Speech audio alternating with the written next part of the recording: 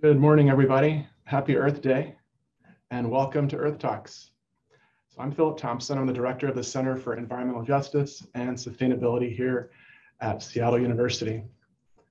I'd like to welcome all of our students, staff, and faculty, as well as those of you from around the globe, including our friends at snappy.com, whose recent donation to CEJS will support the construction of bathroom facilities at a secondary school in Uyo, Nigeria.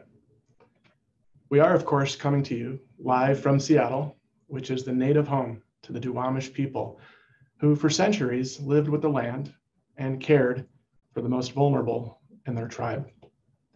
There's much we can learn from these original examples of living sustainably. On this 52nd Earth Day, it's my pleasure to announce our CEJS Student Fellowship recipient for the 2022-2023 academic year. The recipient of this year's Gary L. Chamberlain Fellowship will be second year law student Peter Durland, who will study the tree retention laws in Seattle. The recipient of the 2022 Francis Fellowship is Ann Dwyer, who is a graduate student in our clinical mental health counseling program. Ann's research will examine climate change, mental health, and new directions for justice oriented crisis counseling. Congratulations to Anne and Peter, and thank you to all the students who applied for this year's fellowships. There were many worthy proposals. Today, our theme is just sustainability, and our goal is to bring hope with stories from members of our community. In this morning's session, we'll have, we will have eight five-minute presentations, and then at noon, our first keynote speaker, Senator Rebecca Saldaña, Seattle U Class of 99, will present her reflections on the journey to transformational justice. This will be followed by a Q&A session moderated by Seattle U Student Government President Marrakech Maxwell. Please note that there will be no Q&A for the shorter talks. To view our program, please visit Earth Talks, earth-talks.org. So after the morning session, we'll take a 90-minute break, and we'll begin our second session our afternoon session at 2 p.m. For those who are on campus, you can head over to the Student Center for a special Earth Day menu that's been prepared by our friends at Red Hawk Dining. And the students of Engineers for a Sustainable World are having a plant sale, so you can check out what plants they have available. And now to kick us off, we have a special message from Seattle University President Eduardo Peñalver, who is in his inaugural, inaugural year here as, as our 22nd president. Eduardo is, is representing SU today in our nation's capital and can't be with us, but he has prepared this special video message for us. Good morning. Welcome to Seattle University's Earth Talks, part of our celebration of Earth Day 2022. The Center for Environmental Justice and Sustainability at Seattle University has organized these Earth Talks for several years uh, in the first uh, year of our Earth Talks in 2020, the celebration of the 50th anniversary of Earth Day, we were privileged to hear a special message from Earth Day's founder, Denis Hayes. In commemorating Earth Day every year, Seattle University honors its deepest held values as a university that is simultaneously innovative and progressive and Jesuit and Catholic. For example, in their Universal Apostolic Preferences adopted in 2019, the Society of Jesus called on Jesuit institutions around the world, like Seattle University, to find new ways to care for our common home, the earth, and to walk with the poor and marginalized among us. And our observance of Earth Day is also responsive to Pope Francis's call in his pathbreaking encyclical Laudato Si to work towards a more sustainable future. Seattle University's commitment to sustainability and to advancing environmental justice therefore align with these core Jesuit and Catholic values. In addition, as Seattle's university, Seattle University reflects the progressive culture of environmental care that is so pervasive here in the Pacific Northwest. Addressing questions of sustainability and climate change will surely require all the innovation we can muster. And so this celebration brings together every element of our vision to be a university that is innovative, progressive, and Jesuit and Catholic. As a university, we are also committed to living out these values in a number of concrete ways. In addition to being the first Jesuit university in the world to commit to 100% fossil fuel divestment, Seattle University has reduced its greenhouse gas emissions by almost 20% since 2009. We're currently developing a plan that will completely eliminate our campus's use of natural gas. Until that plan can be fully implemented, though, we will continue to take responsibility for our direct greenhouse gas emissions by purchasing high quality carbon offsets that have multiple environmental and social benefits. Because of our efforts, Seattle University is nationally recognized for our commitment to sustainability. Sierra Club has ranked us as one of its top 15 cool schools, the highest ranking achieved by any university in the Pacific Northwest. These are powerful forms of witness. But as a university, the most important way that we can pave the way for a sustainable future is, and I'll here paraphrase our university's mission statement, by empowering leaders for a just and humane world. In other words, by educating our students and the broader community and by giving them the tools they need to lead us forward into a sustainable future. In goal one of our reignited strategic directions, we've committed ourselves to reimagining our curriculum in order to ensure that a Seattle University education prepares our students to grapple with the great challenges they will face when they begin their studies and their journeys into leadership. And key among these are the challenge of climate change and the need to build a sustainable future. So once again, welcome. Thank you for participating in this celebration of Earth Day and enjoy today's Earth Talks. You, President Peñalver, for that video presentation. And now to get us kicked off is Anna Robertson. I'm going to refrain from reading bios. You can read all of our speaker bios at earth-talks.org. Um, and so you, you may have uh, recognized Anna's song that we played if you joined us earlier. Uh, it's a beautiful song and really appreciate uh, that contribution, uh, as, as well as from Alex Chapman. We played one of his songs from last year, which he wrote for Earth Talks last year. So Anna, hopefully you can share your screen. And if you can't, we can, we can figure that out. So I'm gonna let you take it away. Thanks. Thank you. And no need for screen sharing on my part. I will just be talking. My name is Anna Robertson, and I'm Director of Youth and Young Adult Mobilization for Catholic Climate Covenant. Thanks for having me today. Let them have dominion over the fish of the sea, the birds of the air, the tame animals, all the wild animals, and all the creatures that crawl on the earth. That dominion part, though, that's the rub, isn't it? This verse, of course, comes from the book of Genesis, shared as a sacred text among Christians and Jews the world over. It's been at the root of a lot of debate in recent years, and for good reason. This divine directive of human dominion has been misused for generations to justify human domination of the earth. Even Pope Francis, who occupies the highest seat of authority in the Catholic Church, admits of our missteps, saying that, quote, an inadequate presentation of Christian anthropology gave rise to a wrong understanding of the relationship between human beings and the world, end quote, one characterized by mastery and domination. Rather than domination, he writes that we should understand dominion to be more akin to stewardship. And this is, in fact, a perfectly valid interpretation of the scriptural text. According to Catholic theologian Elizabeth Johnson, in its historical context, one who exercised dominion was one who'd been appointed by a ruler to carry out the ruler's will in faraway lands. So, if in this metaphor, God is the ruler, what is God's will for creation? To be fruitful and multiply, to flourish and thrive. So, if God's will is that creation flourish and to ensure that is to exercise dominion, then dominion sure sounds a lot like stewardship to me. I have to admit, though, for most of my life, the idea of stewardship hasn't exactly gotten me excited. It rings of a certain paternalism, not to mention irony in the face of how drastically off course we human beings have managed to steer the ship when it comes to land management. Burning all of the fossil fuels we currently have on reserve would alone put us perilously close to the critical threshold identified in the recent IPCC reports of two degrees Celsius of atmospheric warming. And yet, our governments continue to approve new extractive efforts. Some stewards, huh?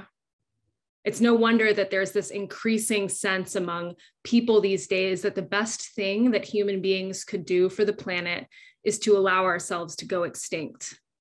It's hard to imagine that humans could have a neutral impact, let alone a positive one, on our ecosystems in the face of so much devastation.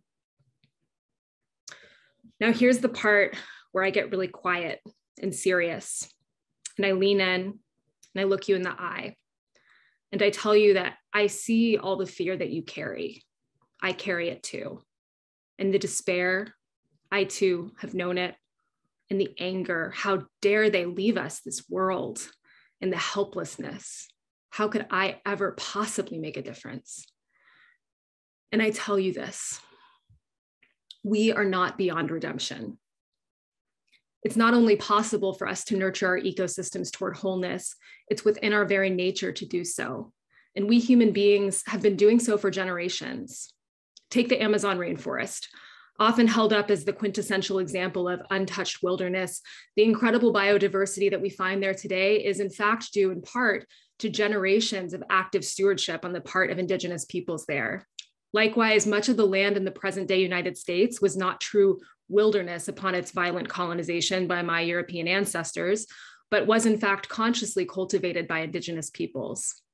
Indigenous peoples, of course, are not monolithic, and you can find plenty of historical examples of groups that exceeded the limits of their ecosystems.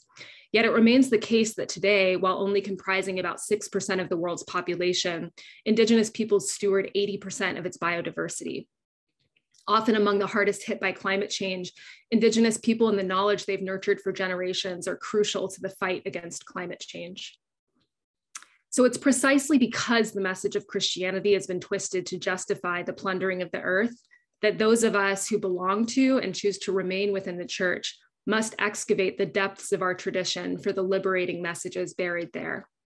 Today, thanks to the modeling of Indigenous communities past and present, as well as that of modern movements around permaculture and regenerative agriculture, I find stewardship to be one of the most hopeful ways of envisioning our human vocation. We're not beyond redemption. The planet's best hope is not our extinction or even our neutrality. We can, in fact, relearn to be beneficial species in our planetary ecosystem. The call to nurture our ecosystems toward wholeness and thriving is embedded in our wisdom traditions and in our DNA. So let us make ourselves students of our common home so that as kin among kin, we might reclaim our calling to nurture creation toward flourishing. Thank you. Thank you so much, Anna. Our next speaker will be one of our students, Emily Tacke, who will talk about community space, community gardens and green spaces in Seattle. Emily, the floor is yours.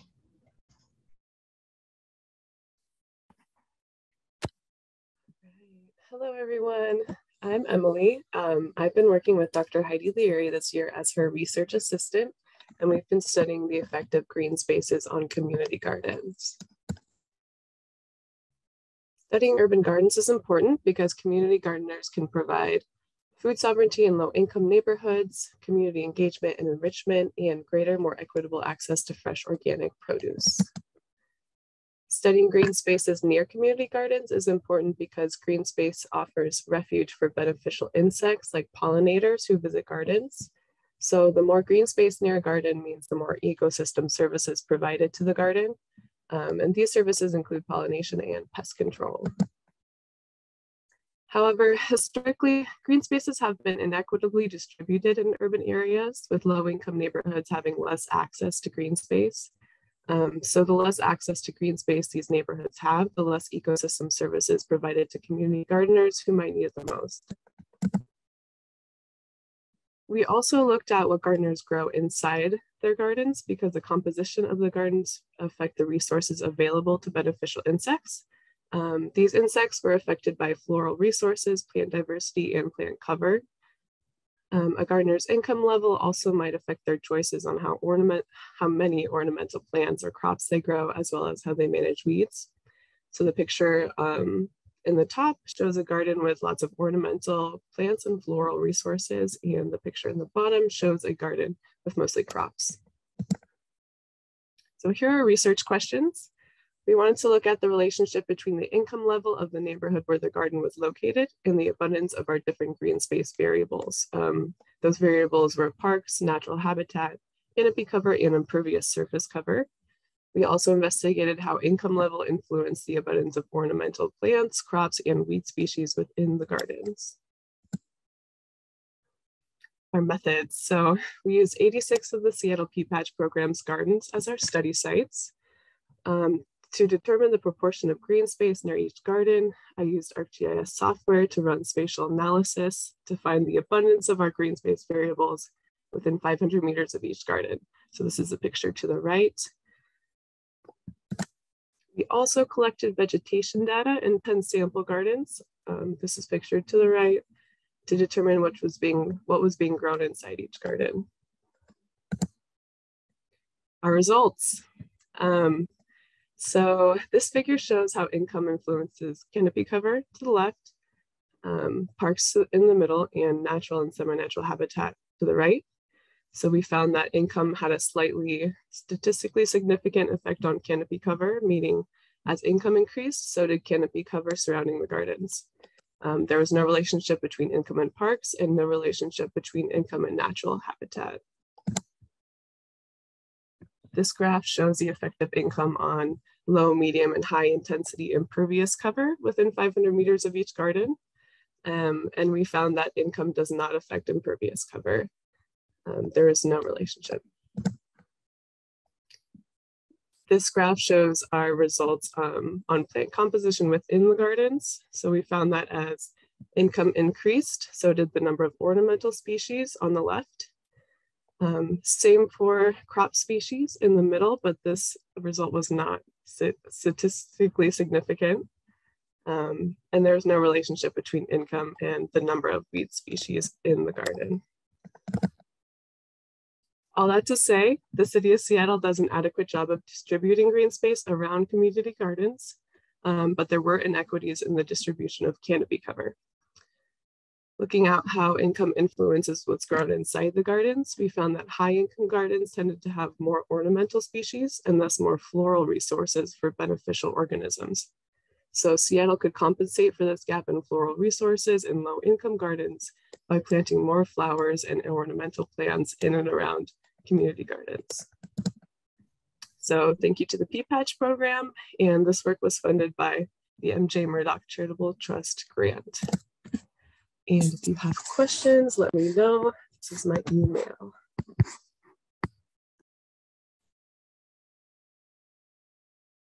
Thank you so much, Emily. Nice job there.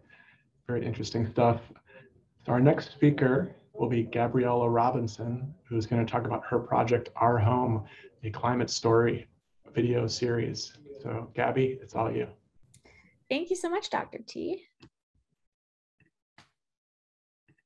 Alrighty, hi everybody, happy Earth Day. Um, I am a SU student um, and I, this is one of a, this is one of the films from a four part series that um, is premiering today. This is the first time that anybody um, is gonna be able to watch these films. Um, so I'm gonna be previewing one of them, talking a little bit about um, the film and the project and what it all means, and then giving you a little bit of the insider scoop information on where you can see the rest of the series. So enjoy.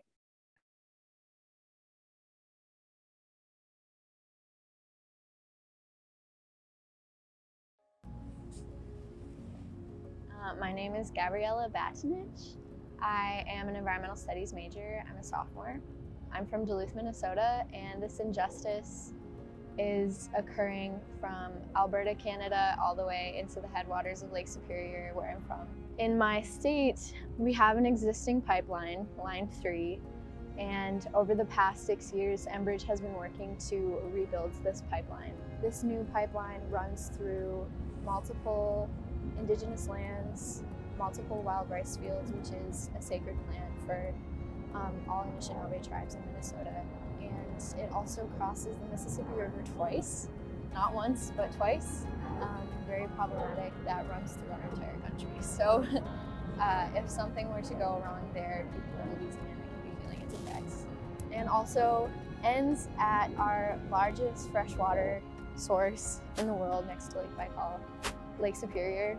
Um, it's it's like an ocean for Midwesterners, so it feels very special to me, and I just I, when I'm home when I'm there. So a lot of Indigenous leaders are on the front lines protesting this, when people are putting their bodies on the line, it's really one of the most effective things they can do to um, stop this process at the source and allow court cases to be heard, allow media to gain attention at what's going on, and um, bring awareness to Indigenous rights and to building a more sustainable environment for, for our state and for the country and everywhere.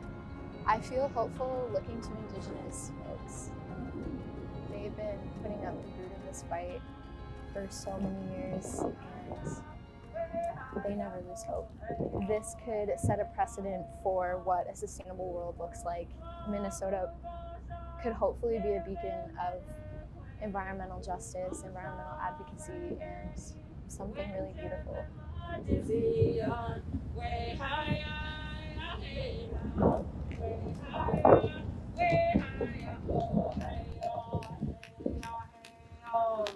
Um, big shout out to Gabriella Batnich for starring um, in one of these pieces. Um, she's going to be talking at the afternoon session today, and she also um, won the Earth Month logo contest. So anytime you see um, anything that's Earth Month affiliated with the CEJS, um, she made that logo. So hats off to Gabby. so this this project was a, a like I said, a four part series that kind of goes and talks about um, how SU students have personal impacts to climate change. And the real focus that this that this project had was really trying to um, not only raise the awareness, but just help people kind of open up their eyes to the world around them to seeing how common um, the effects and impacts of climate change and what those can look like. I think typically in the media, we see climate change as being these like really big um, heavy weighted events such as like a wildfire or a hurricane or something. Um, but as we kind of dive more into the science and the reasoning and just even the time behind it, we can learn that there are so many smaller micro changes that happen as a result of it that everybody is impacted by. Um, and so that is really the big fundamental thing that this series is trying to bring is awareness to that extent, um, connection, and also hope.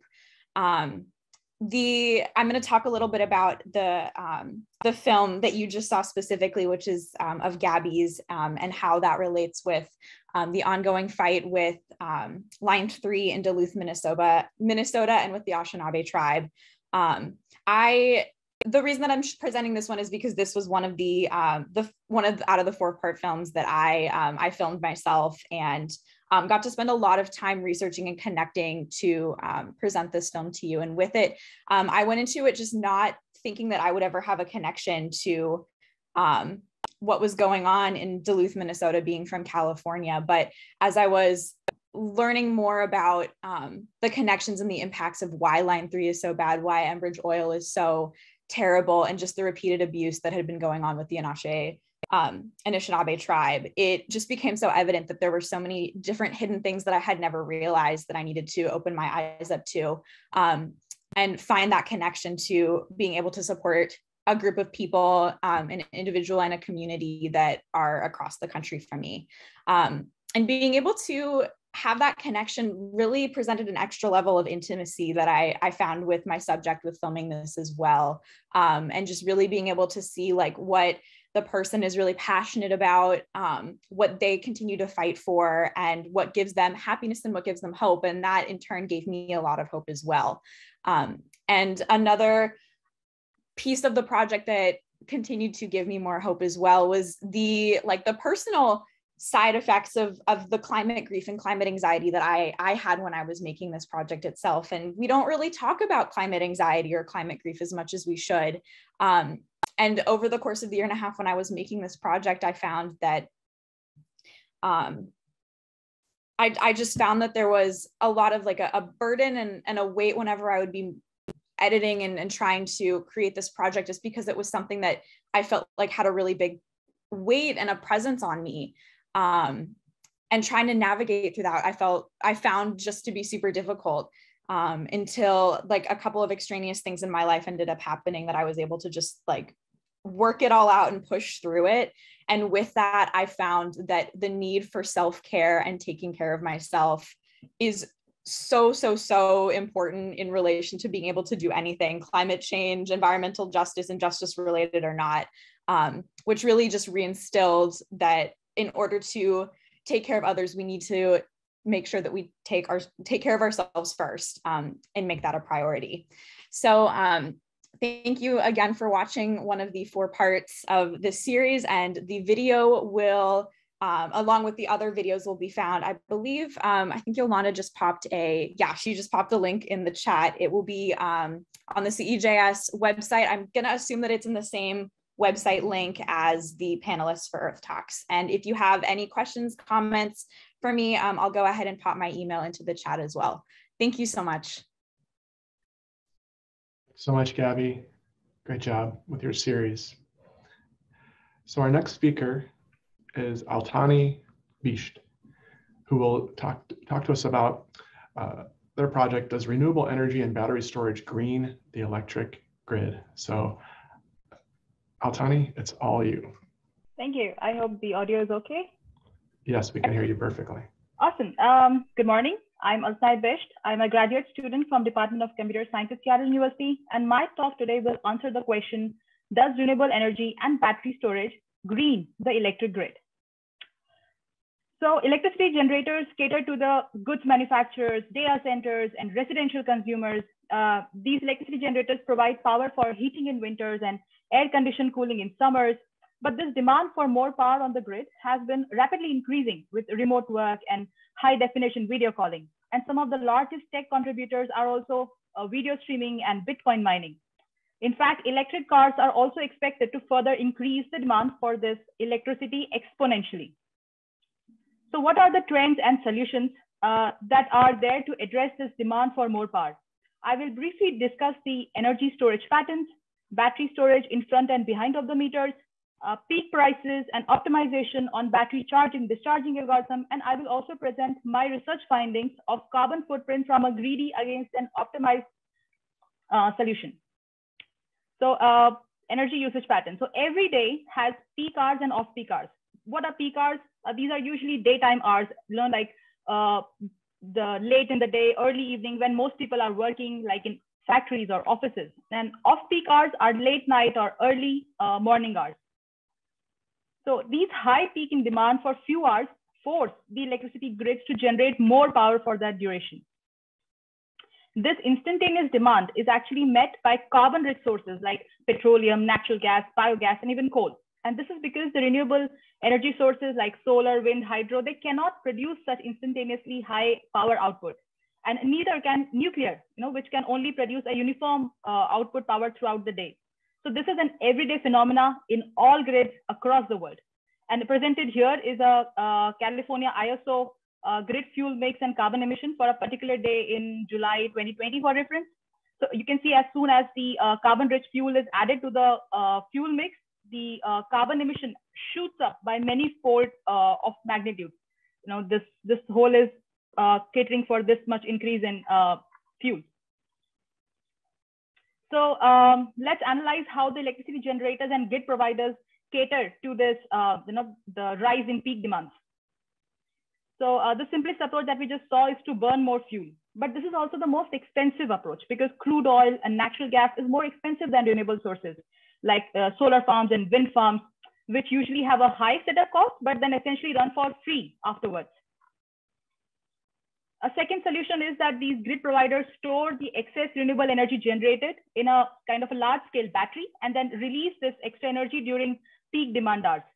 So uh, this process is actually uh, in practice in some of the regions like California ISO itself, but it does not meet the scale of ever increasing uh, demand.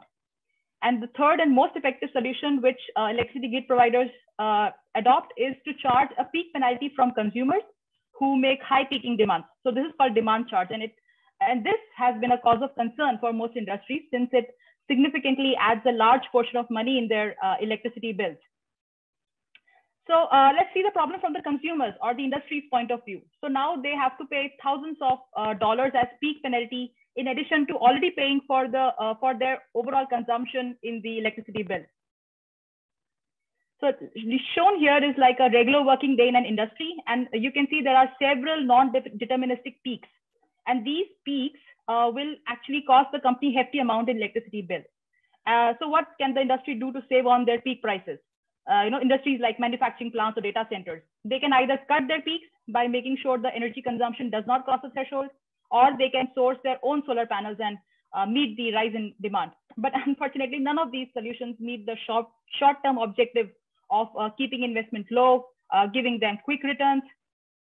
So what they do is to have a battery-based solution, which provides uh, the option to store and charge in the batteries when the demand is high in that in their industry. So so basically they consume from the battery instead of uh, consuming from the main grid line. So they kind of escape the peak penalty charges, right? And these are some of these battery solutions which are uh, available in the market. So we established that uh, the industries are focused now focusing towards using batteries to kind of you know meet their electricity demands.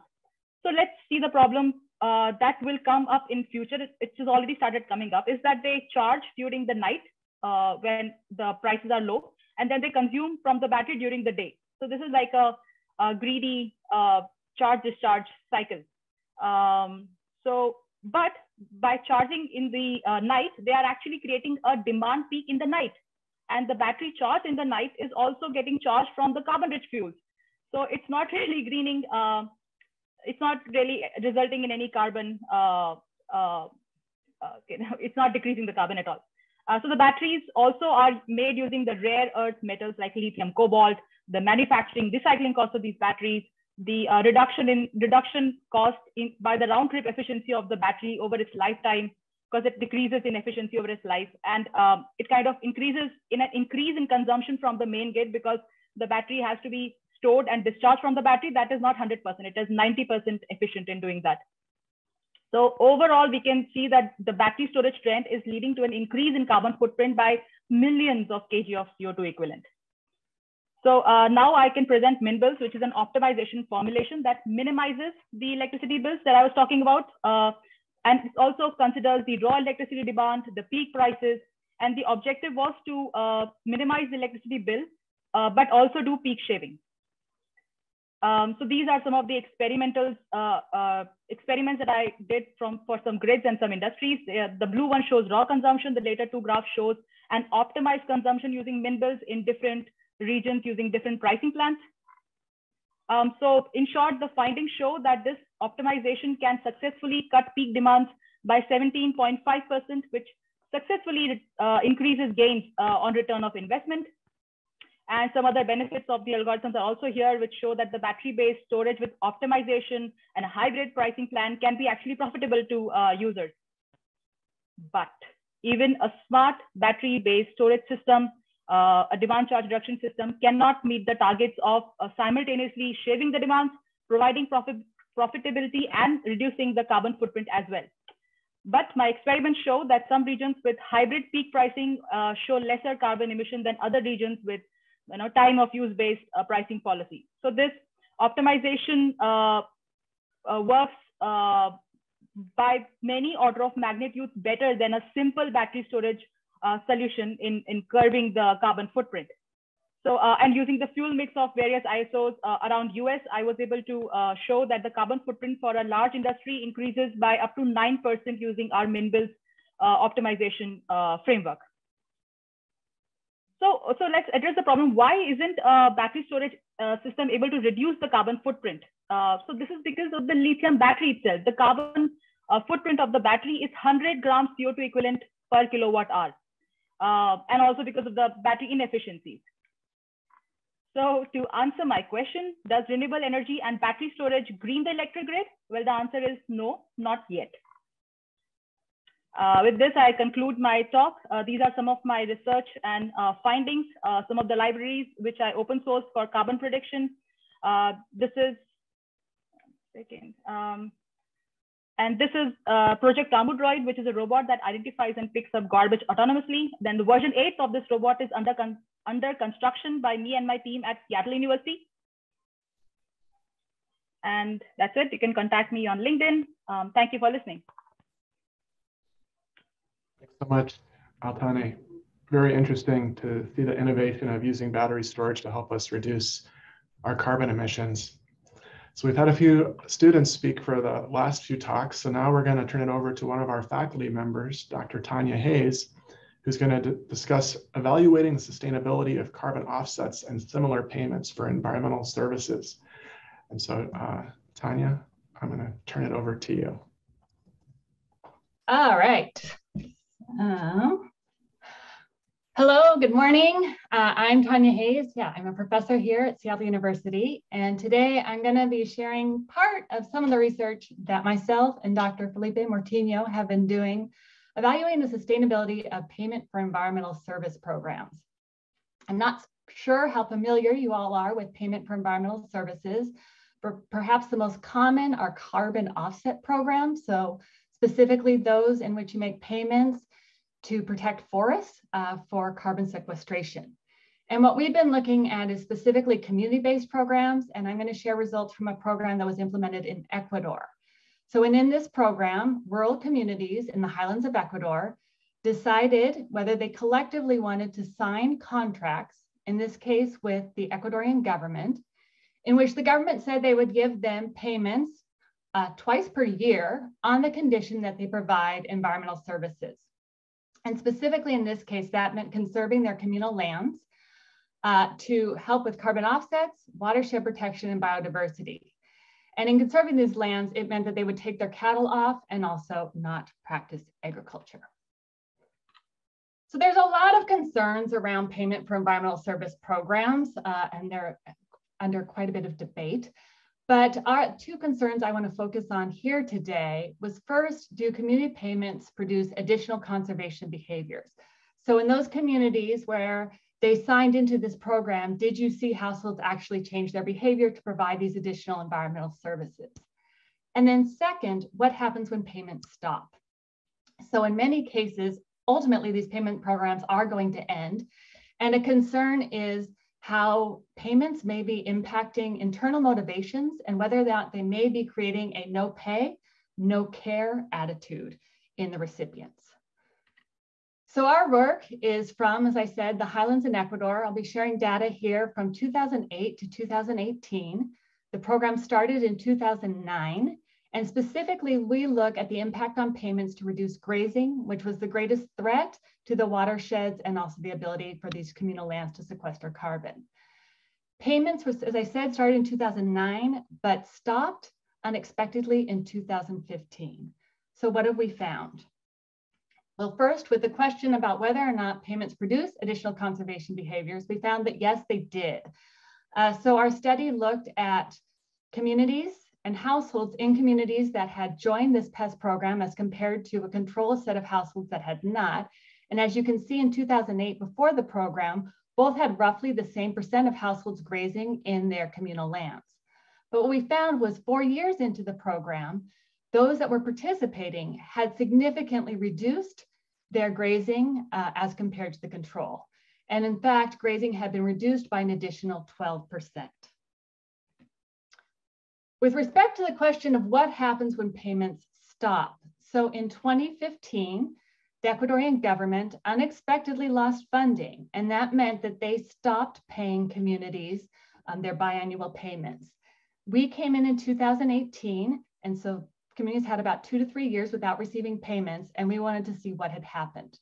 And as you can see here in the chart, when compared to control communities, we find that grazing still continued to decrease, and furthermore, we found no evidence that in fact households were now returning their cattle to these conservation lands.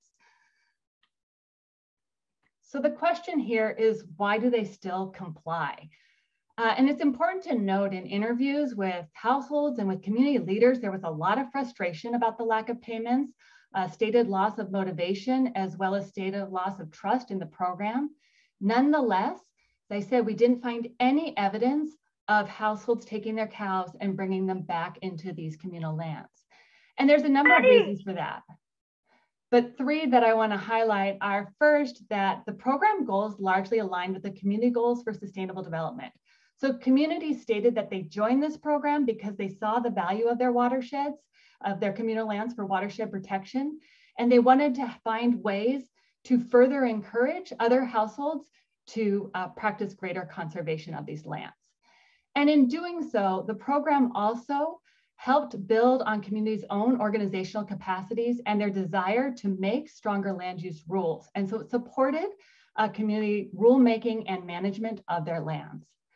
And then finally, something that's important to consider is many households had to sell their cattle in order to comply with these pest restrictions. And so it wasn't so easy for them to put their cows back on the land when the payment stopped. So overall, what we found was, yes, this program has been successful with respect to the environmental benefits that it's been providing. I want to end though, however, with a caveat saying, yes, it's been beneficial for the environment, but we need to take a closer look at what happens when these payments stop for the communities that have been depending on them. Um, there's a lot of social justice and equity concerns there. But that's another talk for another day and discussion. So thank you. Much, Tanya. It gives me hope. Your research gives me hope that uh, this, this really can work. So, uh, so our next speaker is Liz Colavecchio, who is a, another student at Seattle University, who's going to discuss an exploration of sustainable death care. So Liz, it's all you. Thank you. Okay. Thank you so much for the introduction. My name is Liz Colavecchio, and my presentation is called An Exploration of Sustainable Death Care.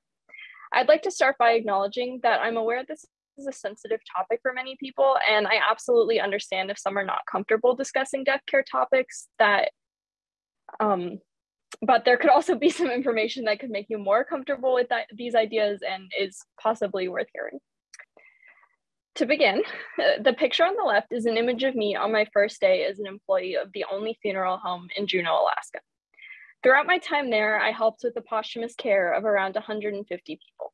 And of those people who chose burial, the Hercules burial vault, pictured to the right, was an occurrence in almost everyone.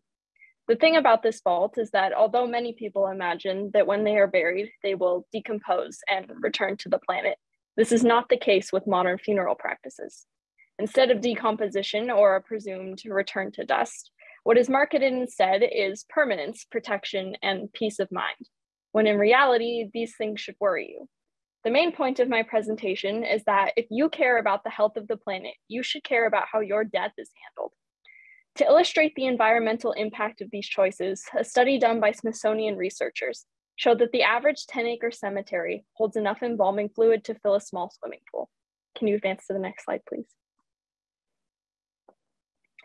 These impacts last hundreds of years, making surrounding groundwater undrinkable and often toxic.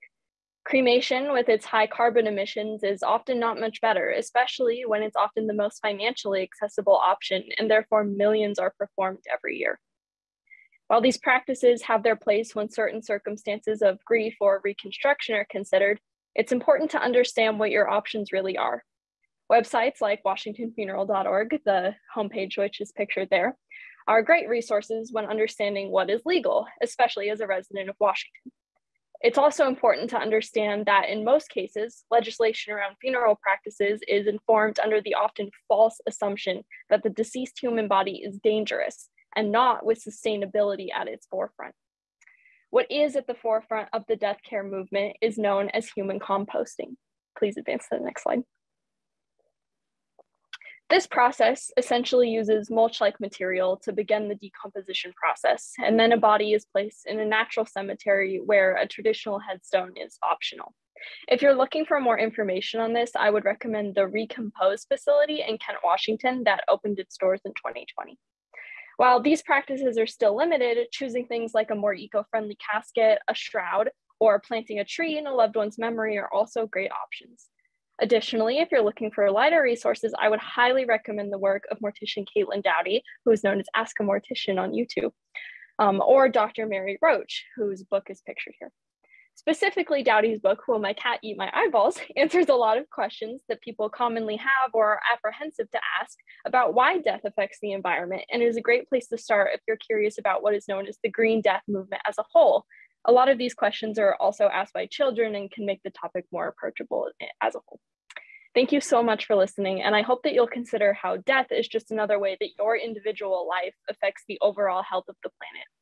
Um, if you have any more questions, uh, please feel free to reach out. My email is just my full name at gmail.com, and I am happy to talk about it because I love this subject.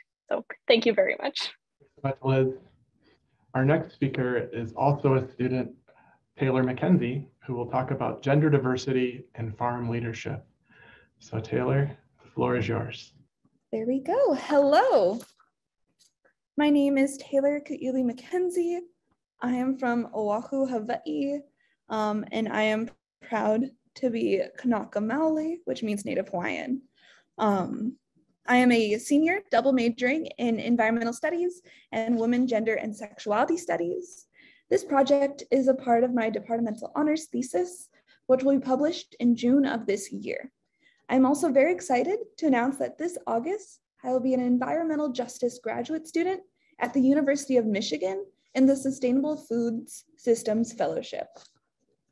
All right, this presentation is adapted from a poster I presented at Yale University's New Horizons in Conservation Conference, which highlights justice, equity, diversity, and sustainability. As a note, this presentation uses the label woman broadly to encompass individuals who identify as cisgender, non-binary, and other marginalized gender, gender identities. The term women in this project was chosen for ease of use and to support readers' access to the information in this presentation. It is not meant to dissuade other gender identities from seeing themselves represented today.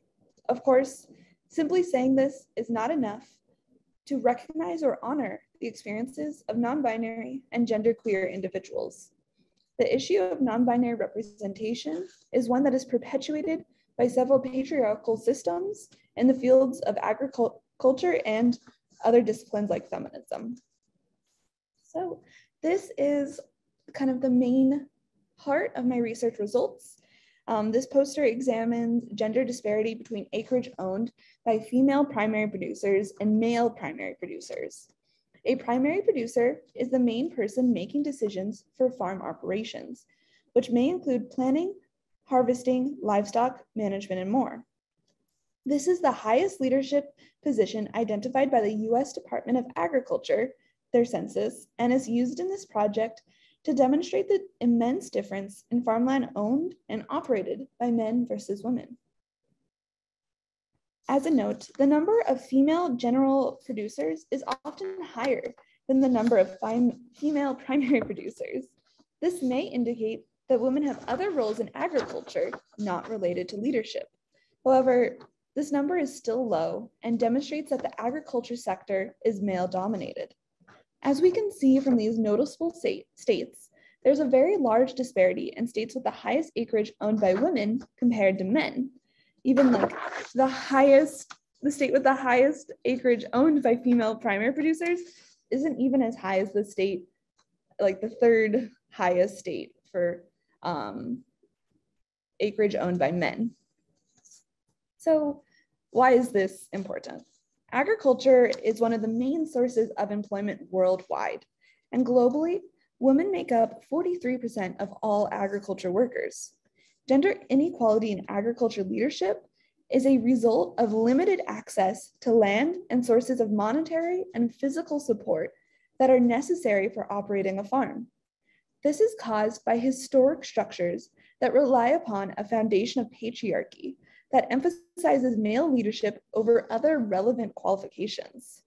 It is important to analyze agriculture justice through a gendered lens because prior studies have demonstrated that given the same access and support uh, that their male counterparts have access to, women are just, if not more productive than other producers. By withholding support to potential female primary producers, the agriculture system as a whole is made inefficient and unable to provide for the highest number of people as possible.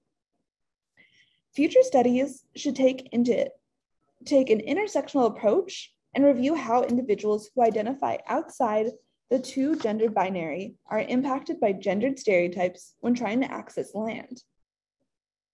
This data was not available, nor is it currently being collected by the USDA. Additionally, due to time restraints, this project does not take into consideration racial barriers to agriculture. However, this does greatly impact who is able to access leadership roles on farms and which communities are prioritized in local food systems. For example, in her book, Farming While Black, Leah Penniman, eh, demonstrated here, wrote that in 1910, at the height of Black land ownership, 16 million acres of farmland, 14% of the total, was owned and cultivated, cultivated by Black families. Now, less than 1% of farms are Black owned. This is an obvious gap in wealth and farmland ownership that needs to be further studied through a gendered lens, but we just don't have the intersectional data being collected by the USDA at this moment. Um, agriculture feeds, employs, and nourishes communities across the planet. However, it is plagued by harmful structures that perpetuate gender discrimination. And in order to make it as efficient as possible to feed the most amount of people and to help the planet, we need to prioritize the leadership of BIPOC women. Thank you so much. And if you have any further questions, you can email me here. Thanks so much, Taylor, and congratulations on your graduate fellowship to Michigan. It seems like yesterday you were a first year at SU, so well done. Thank you so much. I appreciate it. So our, our next speaker before our keynote address will be by Guillermo Rogel who's going to talk to us about environmental justice in the Washington State Legislature. And Guillermo is with a fantastic organization called Front and Centered. If you don't know about Front and Centered, I encourage you to check it out. So, Guillermo, it's all yours. Yeah, thank you so much. And thank you so much to uh, Seattle University for the invitation. Um, we're really happy to be here. Uh, so my name is uh, Guillermo Rogel, and I'm the Legislative and Government um, Affairs Advocate with Front and Centered. Um, so I'm just going to give you a quick overview of what we'll cover today, but um, so it'll first be an introduction to our coalition, then an overview of what legislative advocacy means to us, and um, talking specifically about the state legislature and the HEAL Act, which um, I'm sure Senator Saldaña, um, sponsor of the bill, will give you a little bit more deep dive into as the bill gets implemented.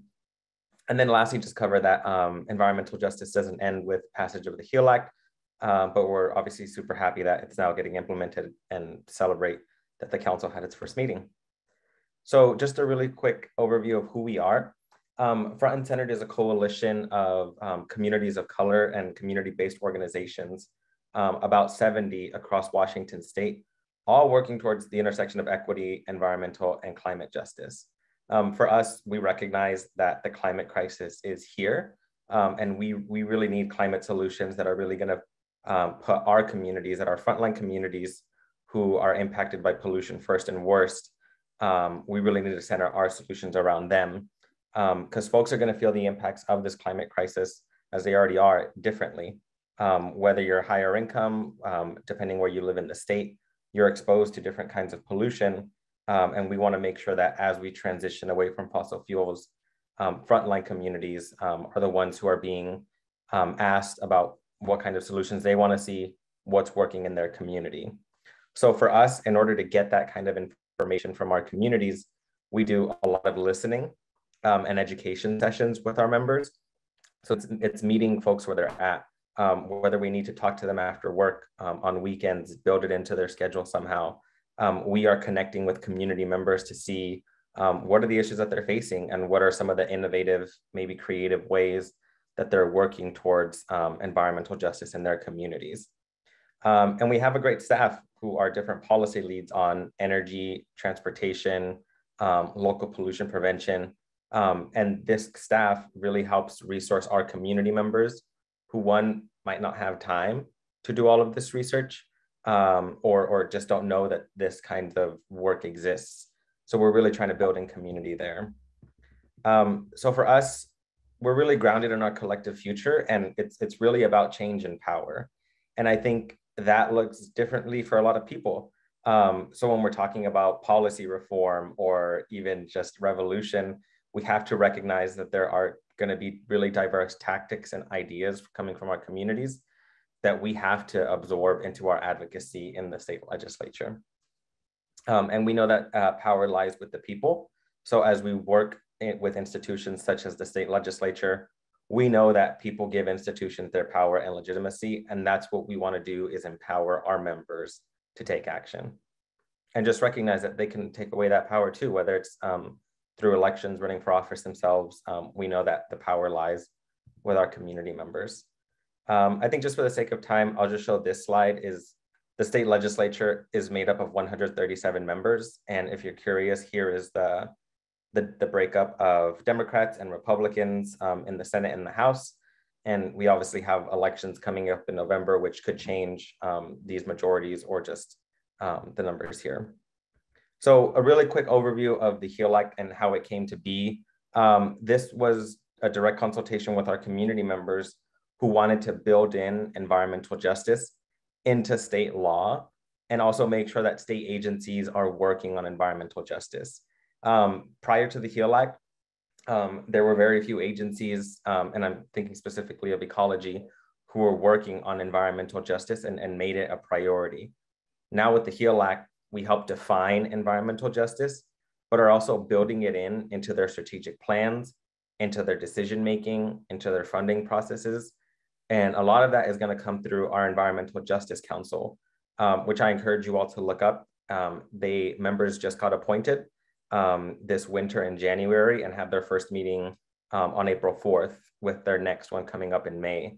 And this is a community-led council, which is going to be providing recommendations to agencies um, on their request legislation, um, among other things. I think I'll I'll leave this one for for now because um, I know Senator Saldaña and David Mendoza will talk about the HEAL Act and how it's getting implemented.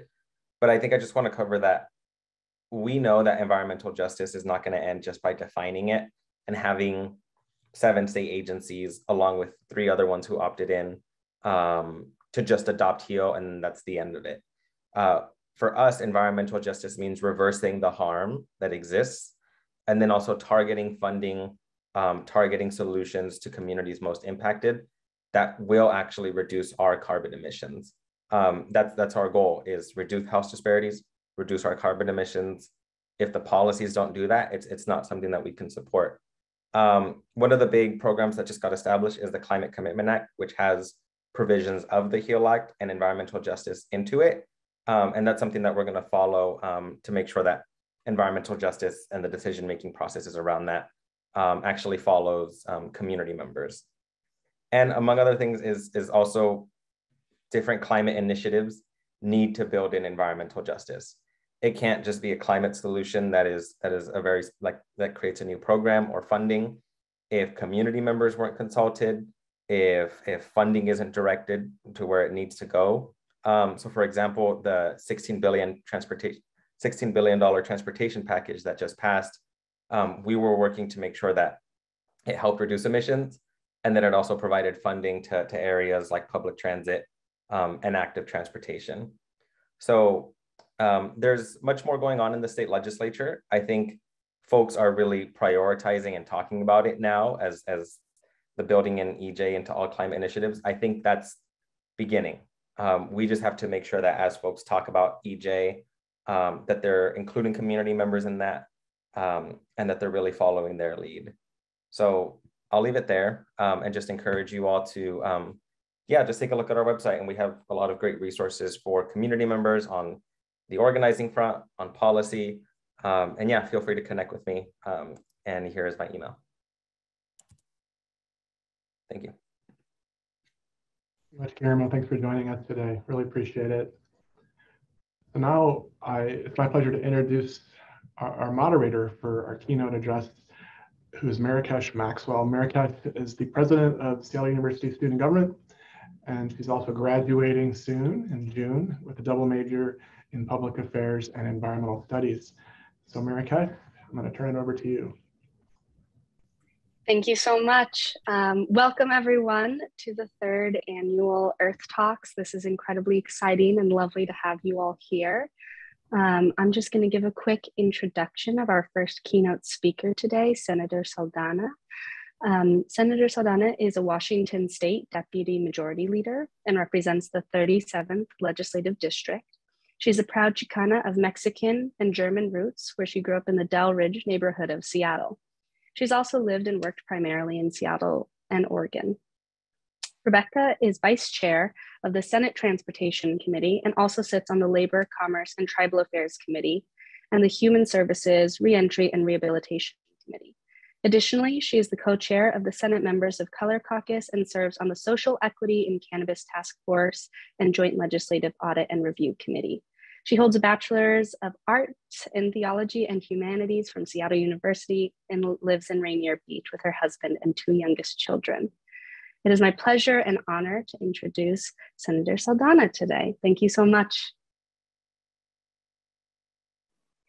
Thank you. And I have a feeling that um, Guillermo and David and I all kind of thought the other person is going to really dig into HEAL Act.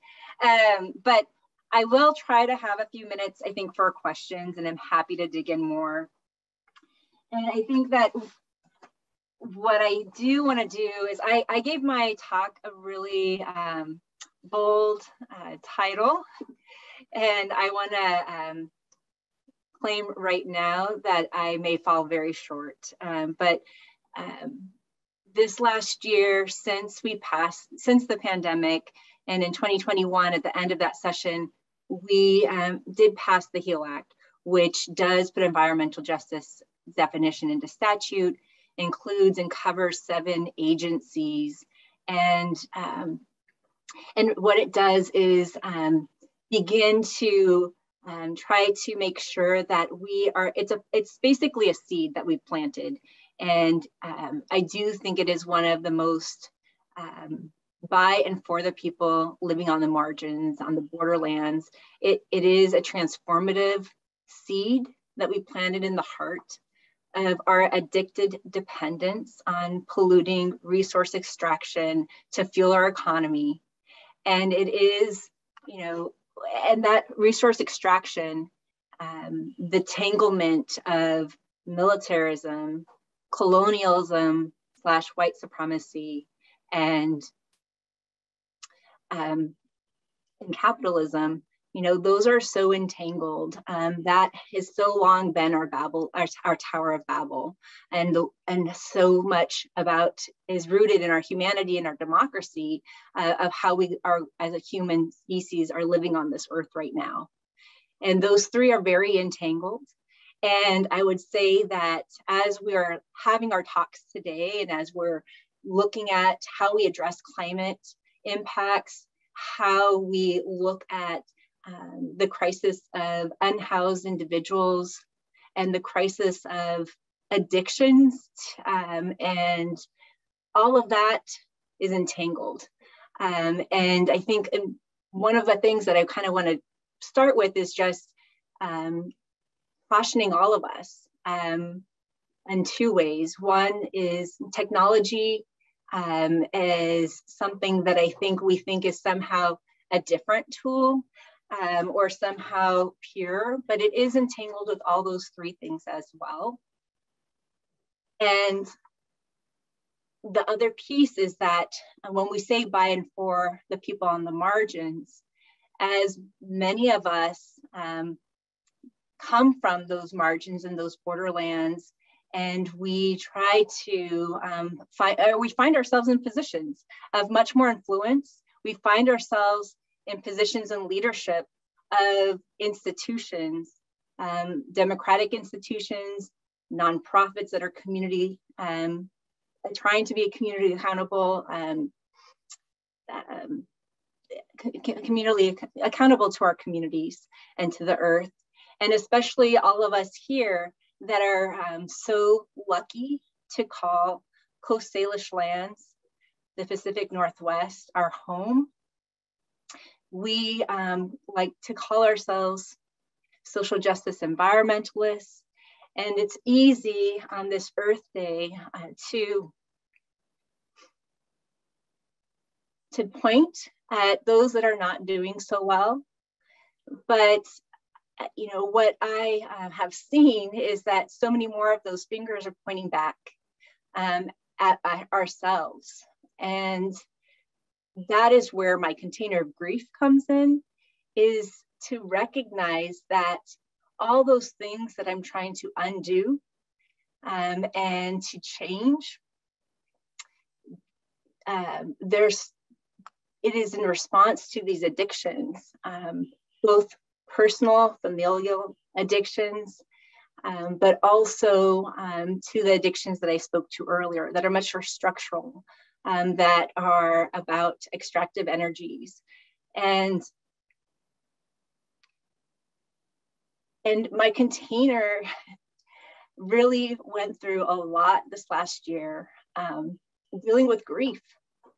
And I think that um, as an empathetic person um, that was raised um, in this Catholic traditions and the traditions of liberation um, and traditions of pacifism and um, attempting to live a more simple life traditions.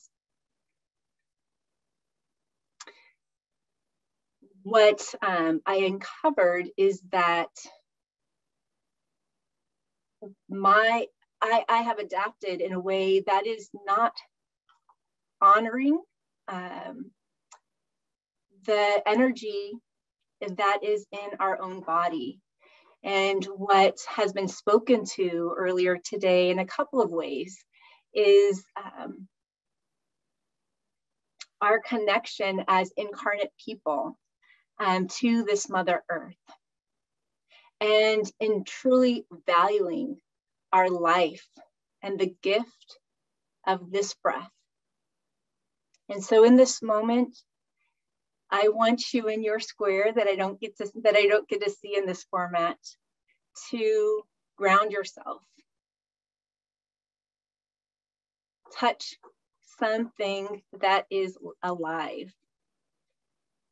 And if you don't have a plant nearby or you're not outside, touch here, your heart space.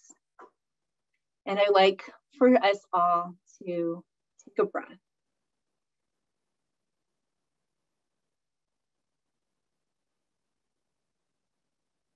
And to take another breath.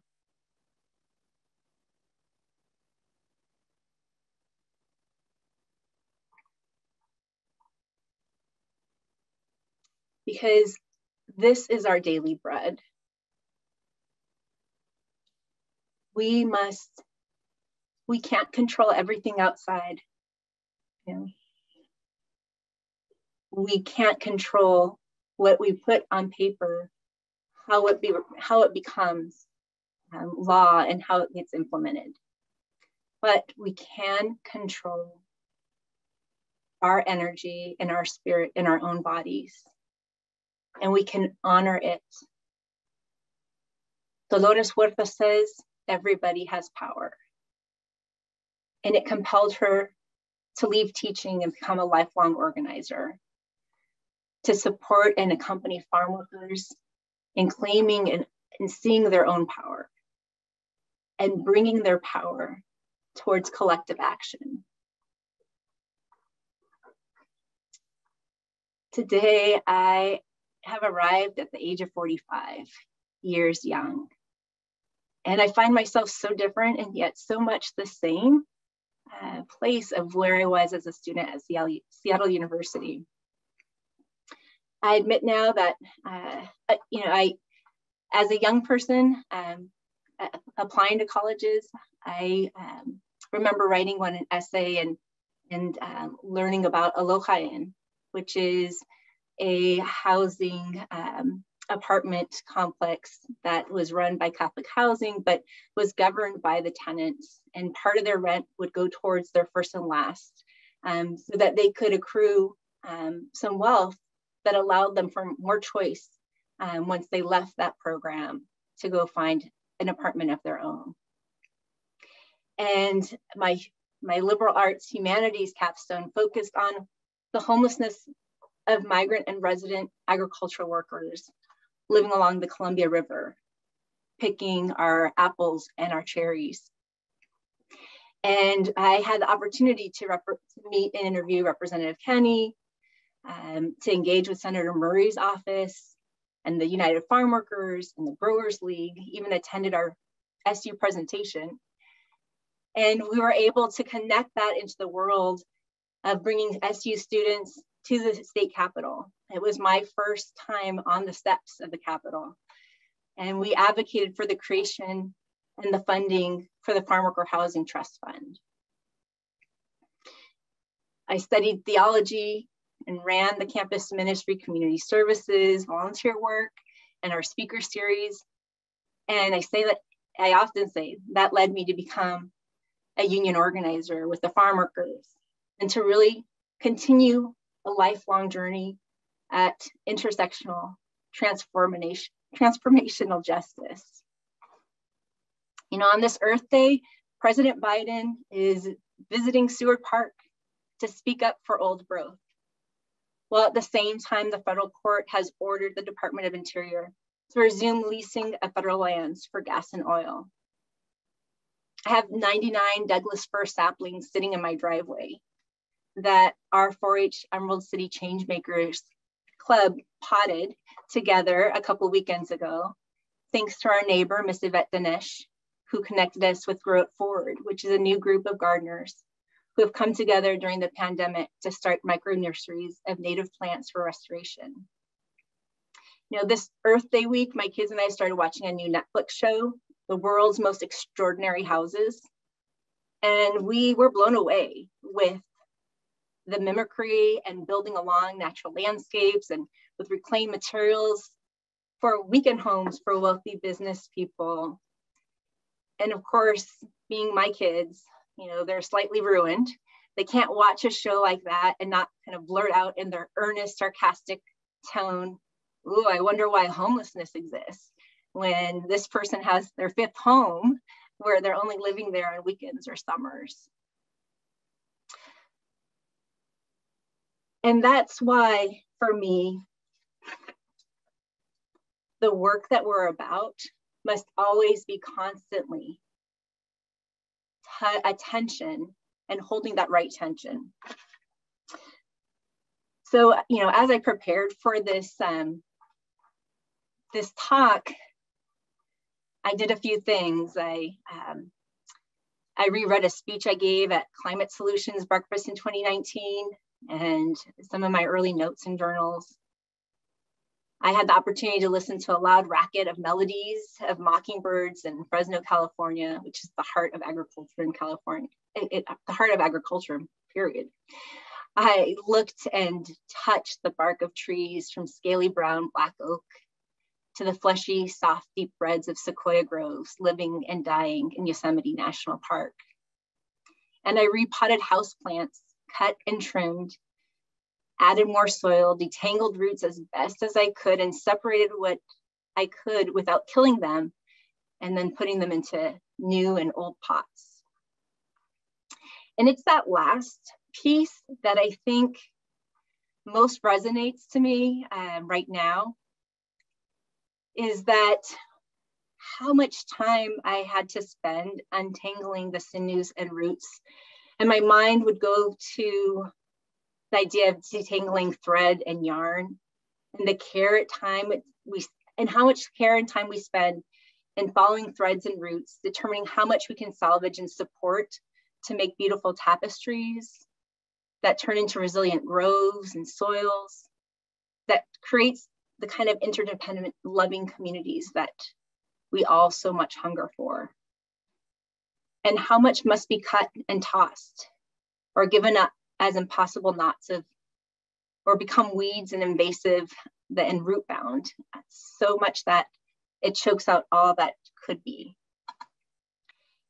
And that's kind of where we are right now with the HEAL Act, with how we change things while also being in relationship with so much that is not perfect um, and that is so the built up environment and the fuels that we currently all um, continue to stay addicted to and are trying so desperately to find healthy alternatives to. And that's where the seed that is a transformative seed is being planted. But it requires each one of us to do our part to make sure that in our own ways, we are trying to both be accountable to and center the lives and the voices and the experiences of those of Mother Earth and of the people who have been most harmed as we're trying to salvage these institutions and these containers, as imperfect as they are, um, but that have a purpose if we can put them into the right service. I want to end this um, sharing a poem from Gloria Anzaldúa. And I have been debating whether to do it in English or Spanish um, because I know that I probably don't have time to do both. So I'm going to read it in Spanish because you can go look it up in English. And I think it um, says, has a great rhythm in the Spanish. It's her poem, A Sea of Cabbages. And it's dedicated for those who have worked in the fields. Hincando, hincando, manos hinchadas, sudor floreciendo en su cara, su mirada en altas veredas, sus pensamientos torciendo corredas, para pescar ese palomo de las alturas, siglo tras siglo nadando, brazos atríticos dando vueltas y vueltas y vueltas, recorriendo surcos, un gusano en un mar verde, una vida estremecida por el viento, meciéndose en una goma de esperanza, atrapada en las redes con la paloma, a mediodía en la orilla de las verdes colmenas, en la, en la labor de un ranchito en Texas. Saca sus tortillas con chile, toma agua hecha caldo por el sol. A veces maldice su suerte, la tierra, el sol, sus ojos inquietos, pájaros volando sobre veredas altas en busca de esa paloma blanca y su nido. Hombre en verde mar, su herencia manos gordas manchadas echando raíces en la tierra, aunque empenado, bebía cara arriba. En sus ojos telarañas pescaban las plumas blancas. Sus manos rompen repollos de sus nidos, rompen venudas, hojas cubriendo hojas tiernitas, cubriendo hojas más pálidos, pálidas el corazón. Siglo tras siglo, levantando, deshojándose, un mar de repollos, mareado, cuerpo sestiendo el azote del sol. En sus manos los repollos se contercen como peces, espesa lengua tragando la amarga escoria. El sol pesada piedra sobre su espalda, quebrándose. La tierra se estremece y le pega en la cara. Espuma brota en sus labios, se derrama, ojos abiertos, cara arriba, buscando, buscando. Los blancos de sus ojos se, congelan. Oye el viento barriendo los pedazos quebrados y luego el ruido de plumas dulce en su garganta.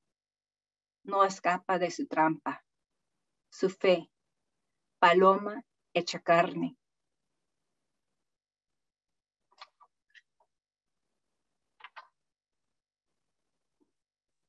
May you value and know that you are loved, that your energy is in your body, and that your body has power. That when we come together, we can clear space for that seed to take root, our seeds to take root, and for those roots to tangle in a way that complements that gives strength and allows us to grow a future worthy of our children and our ancestors. Thank you.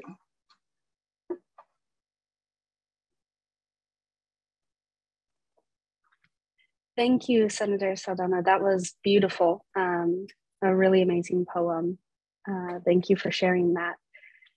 As we head into um, the next 10 minutes, I'm hoping that folks who are joining us today can use the Q&A feature to submit any questions um, for you to answer. Um, so I'll wait one minute to see if anyone sends something in. Otherwise, we can get started with one of the questions I've already received. Um, this first question is comes from one of our Seattle University community members, what are your thoughts on the topic of a carbon tax? And would that help Washington reduce our emissions and address the climate crisis? Great. Um, yeah, so I mean, I think that um, what we have right now um, is a Climate Commitment Act, which is a price on carbon that um, is already there. So I do think it would be challenging to do both in, in the same economy or in the same state at the same time, but I don't, maybe there is a way for that forward. But I think what we have right now is the Climate Commitment Act, which is set to create $16 billion, um, with, or a little bit more than that, but you know, that we have going towards transportation to decarbonize on that side. The other piece is that there's still many other ways that we can regulate or we can demand performance. Um, there is a bigger conversation I think that we need to have in general around our upside down tax system in Washington state and what we need to do to be able to make sure that we have the right kind of resources um, so that the state can be a better partner for Washingtonians in general. So, um, so I think it'd be it'd be difficult, but it you know especially as we're thinking about other states and thinking about the the nation, like we need to be continuing to to consider that. But those would be my initial response to that. Yeah, wonderful. Um, that is a great um, answer. Uh, I see we had a question um, for putting a reference to the poem in the chat. I see that that has already been done. Thank you. Um, one other question. So, for folks who may be sitting in these Earth Talks today and really navigating, um, being excited about the future and the change that we can enact, I, I wonder what your advice might be uh, when navigating the complexity that is sort of climate advocacy work, you know, making sure that we are working um, towards a just and humane future while still caring for ourselves. Um, and I was wondering if you could give some words of advice to the members joining us today around navigating all of that. Yeah, I mean, I think one is to recognize that it's not all up to us. And that, I mean, part of it is they're amazing people and obviously today is a great way to get exposed to that. There's so many different ways that we can be making a difference in our in our sphere. So knowing what your sphere is and then you know or where you want to be if your sphere is not there right now where do you make those connections right? Um, so that you can have that. I do think front and centered and some of the community-based organizations that are here in our communities that we're hearing about um, you know give us a way to enter in. And i think you know i'll just say like some of the things that i'm reading um, that give me it so is making sure that you are taking breath that you are being conscious of your own body and thinking about energy and how much are you using um, and what's the outcome that you're getting um, out of that energy. But um, for my for myself I think it changes during the seasons of my life. But right now, I have a, a daily reading practice that I do um, that includes chanting, includes reading from the Sesh book, which comes out of um, Nar-Anon. Um, I'm reading Borderlands again, um, which is Gloria Anzaldúa, um, which is where one of the way, places where that book poem was published. Um, but I'm also reading about um, Black authors. And um, I was like, I was to find her book. But um, Progress Alliance is doing a um, reading soon on it. And it is right here. Uh, the, the Whiteness of Wealth by Dorothy A. Brown. So I think, you know, those are a couple of things that I do. I think the similar in terms of others is like, is to recognize that you can't, um, you can't burn yourself out. Um, if if you know we need you for sustained work. Uh, and and so often um, as we're trying to change the the structures that are around us um, is that if we aren't careful by the time we get there we have become um, too similar um, to be able to have the distance and the perspective. And um, and you know i believe in democracy little d democracy which requires us to to continue to find meaning for all the people. Um, we can move them out but we you know of maybe being in that power and having so much influence but we need to continue to keep people in our community. Um, and so that's my you know where i come from um, and hopefully it is something from that is helpful to others Thank you so much. I know that we have to wrap up on time here for the first half of the session. Again, I want to thank you for coming and being a keynote speaker today. Um, and I will pass it off to Dr. Thompson. All right, Catherine, thanks so much, Senator Saldaña, for joining us today with your inspirational presentation. Really appreciate your time. Marrakech, thanks for moderating the Q&A. And, and I want to thank all the speakers for their excellent presentations. We're going to take a 90 minute break and we're going to be back with another slate of presentations. And so uh, we'll see you back here at two o'clock, if not before. You can enjoy some music from, uh, from some of our guests. All right, we'll see you soon.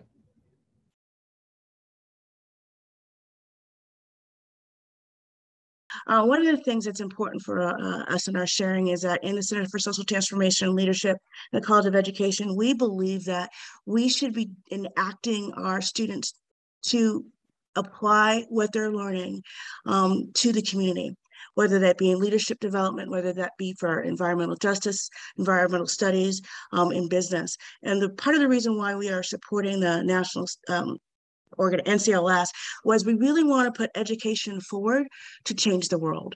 And so in our conversations about SDGs and informing our community about that, we in the College of Education really believe it's important that we inform everybody, no matter what field, um, about how they can make impact um, and apply to these. So if you look at the 17, whether you're in the College of Education, whether you're in business, uh, you can change the world as it relates to the SDGs. So in our work, and the Center for Social Transformation and Leadership, we're going to continue to offer at least twice a year some type of event to educate those about how they can become active transformational leaders uh, around these SDG goals. And it is our hope that you will join us um, as well as uh, NCLS and S NSLS um, in those activities that they're moving forward, such as the event that they're having on Monday uh, related to food sustainability. So Audrey, do you want to take a moment to talk about that?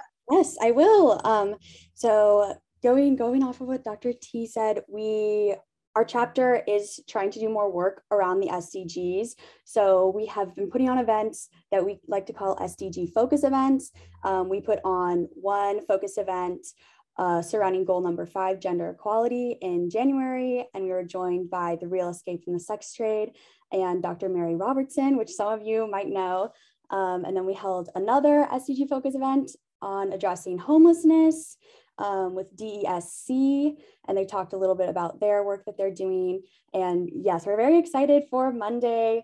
Um, we are having another SDG focus event on food security and sustainable agriculture. Um, so that's kind of zeroing in on goal number two, zero hunger. Uh, and that event will be from 4 to 5 p.m. on Zoom. And if you'd like to attend, um, we would love to see you there. Please just visit our Connect SU page for more information. Um, you can find that by looking up NSLS or the National Society of Leadership and Success. Um, that should pop right up for you. And then if anyone would like to collaborate on events in the future, we're very open and we want this uh, to be a very collaborative experience for everyone. So please feel free to reach out and I will pass it to Dr. T. And the last thing I would say is with the Center for Social Transformation and Leadership, we are so excited about our continued partnerships with the Center for um, Environmental Justice. And we would also invite anybody to partner with us or ask for our involvement um, as we look toward educating those around SDGs um, in the future and how they could activate their leadership uh, to make a difference in the world. So you could also just uh, pop in um, uh, CSTL um, in our listserv and look at, at the center website, or also just contact me directly at my email that is sitting here on the uh, PowerPoint. So thank you very much for your consideration. Thank you and happy Earth Day, everyone. Thanks, Audrey and Dr. T. Um, let me start sharing my screen. Hi, everybody. Can you guys hear me? Okay, sweet. Um, my name's Donna, and I'm with my co-panelist, Rachel. And um, today we're going to be talking about the um, impacts of fast fashion and legal solutions to fast fashion. So to start, um, just to introduce ourselves, um, I'm a first year law student and I'm a graduate of Creighton University, a fellow Jesuit university that um, has also fully committed a full divestment from fossil fuels, which is kind of where my sustainability journey started. Um, and Seattle U is, or the, one of the reasons I chose Seattle U is because of how great the sustainability is here um, and the drive and the passion of the students. And um, then tying that into like environmental law and policy, um, that's kind of what drove me to hosting this Earth Talk with Rachel. And hi, I am Rachel Woodard Kelly. Um, I'm also a first year law student uh, along with Donna. Um, what drove me to sustainability is um, my background in the sciences. Um, my background is in biochemistry, and I had the privilege to teach high school biology for three years and work with a bunch of former ecologists. And they taught me so much, and they especially taught me the importance of treating our planet well. And so that is why I'm here with y'all today. Awesome. So um, some inspiration behind our Earth Talk is kind of like the um, idea that like clothing and textiles serve as an indicator of wealth and social status. Um, and that's something I've personally noticed through my experience in law school of like looking the part and realizing like that's um, not very affordable. So then there's this drive towards cheap and fast fashion. And then also this like subconsciousness um, understanding of the impacts on the environment and so um, then we are also like taking a lot of classes that are showing us that there can be a lot of positive legal implications that can um, like turn bad into good basically so that's kind of where we got this idea from um, and wanted to see how we can navigate using the law to minimize our carbon footprint um, and then just some companies that are big names that you might recognize um, will be kind of the forefront of our topic today.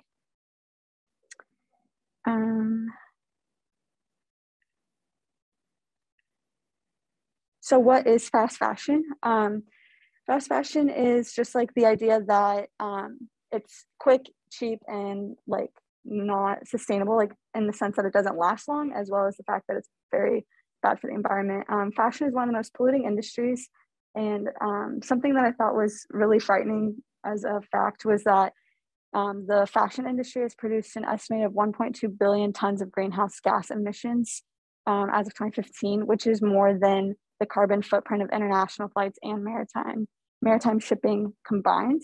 Um, and um, I believe that like each individual in America produces 80 pounds of waste annually. And so just thinking about like sometimes we put a big um, burden on like companies which as we should but there's also this individualized understanding that we all are a part of the problem too um, so we're going to talk a little bit more about how to combat that in our talk with you guys today um, and then also just the adverse effects of fast fashion that we may not see it here like in our backyards every single day but knowing that um, our fellow um, humans that are like not a part of the problem necessarily are suffering the most from it with these adverse effects.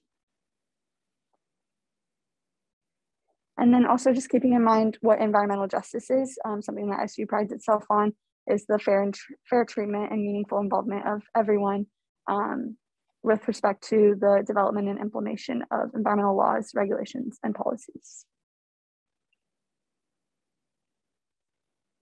Um, and this is a photo from an article that was posted about fast fashion um, in Ghana. And um, I actually had a doctor's appointment last week, and my nurse was from Ghana, and I asked her like, "Is this what the me- this is what the media is portraying? Is this accurate?" Like, I feel like we see things all the time, and we never know like what exactly it looks like. And she was like, "That doesn't even give it justice. It's much worse than that." Unfortunately, like we are cleaning up the beaches every single day and people are just like getting all of these clothes off the beach and reselling them and it's their way of income and um, it's just polluting our entire community. And so that was really like an eye opening experience to meet someone who's this is literally their backyard.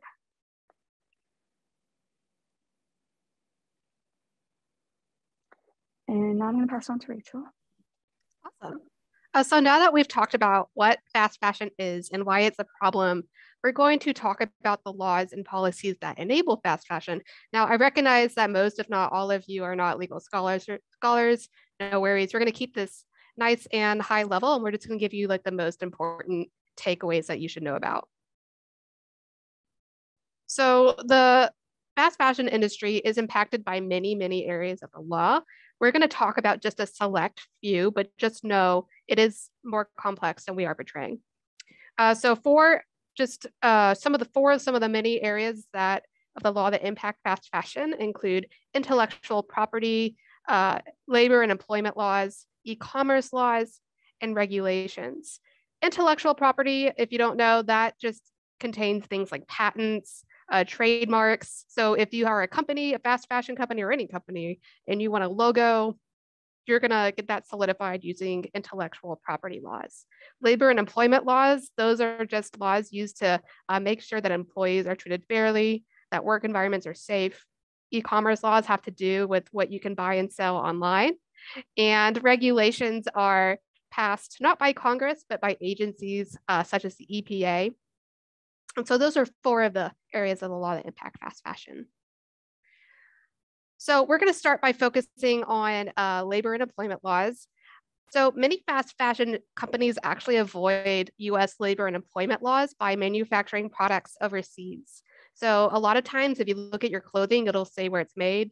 Chances are it's made in China, Vietnam, India, Bangladesh, Indonesia, or Mexico.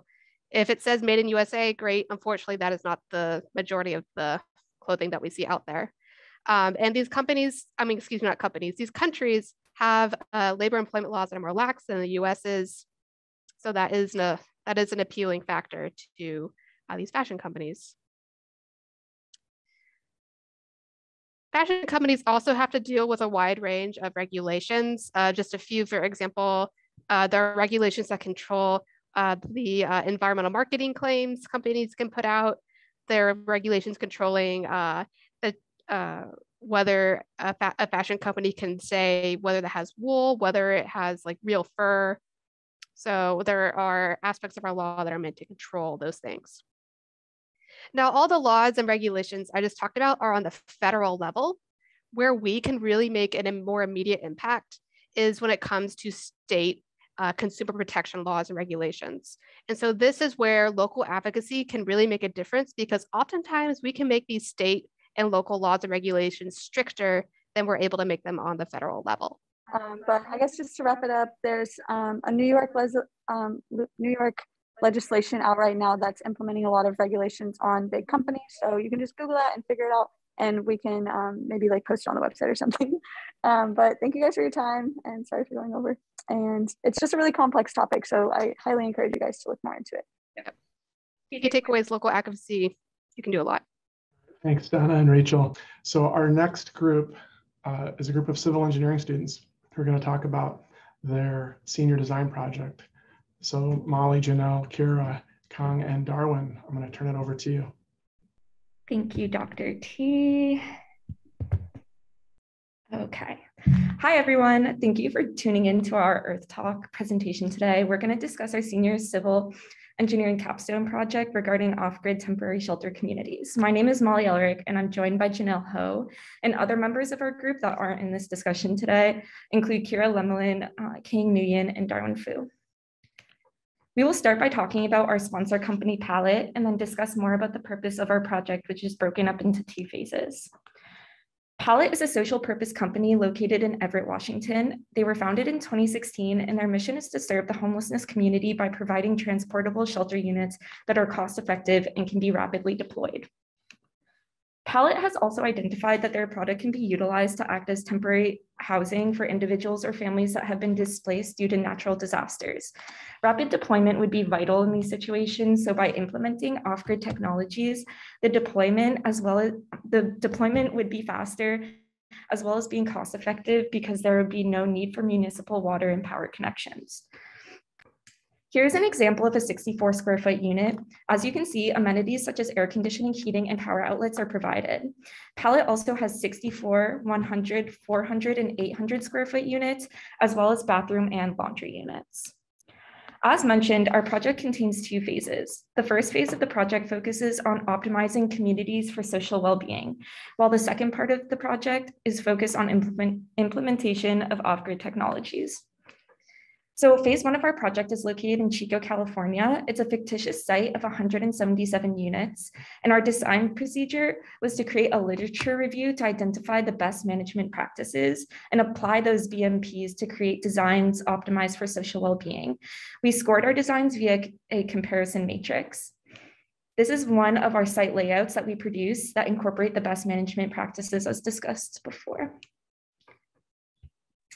The conclusion of phase one brings us to phase two of our project, which again is located in Burlington, Washington.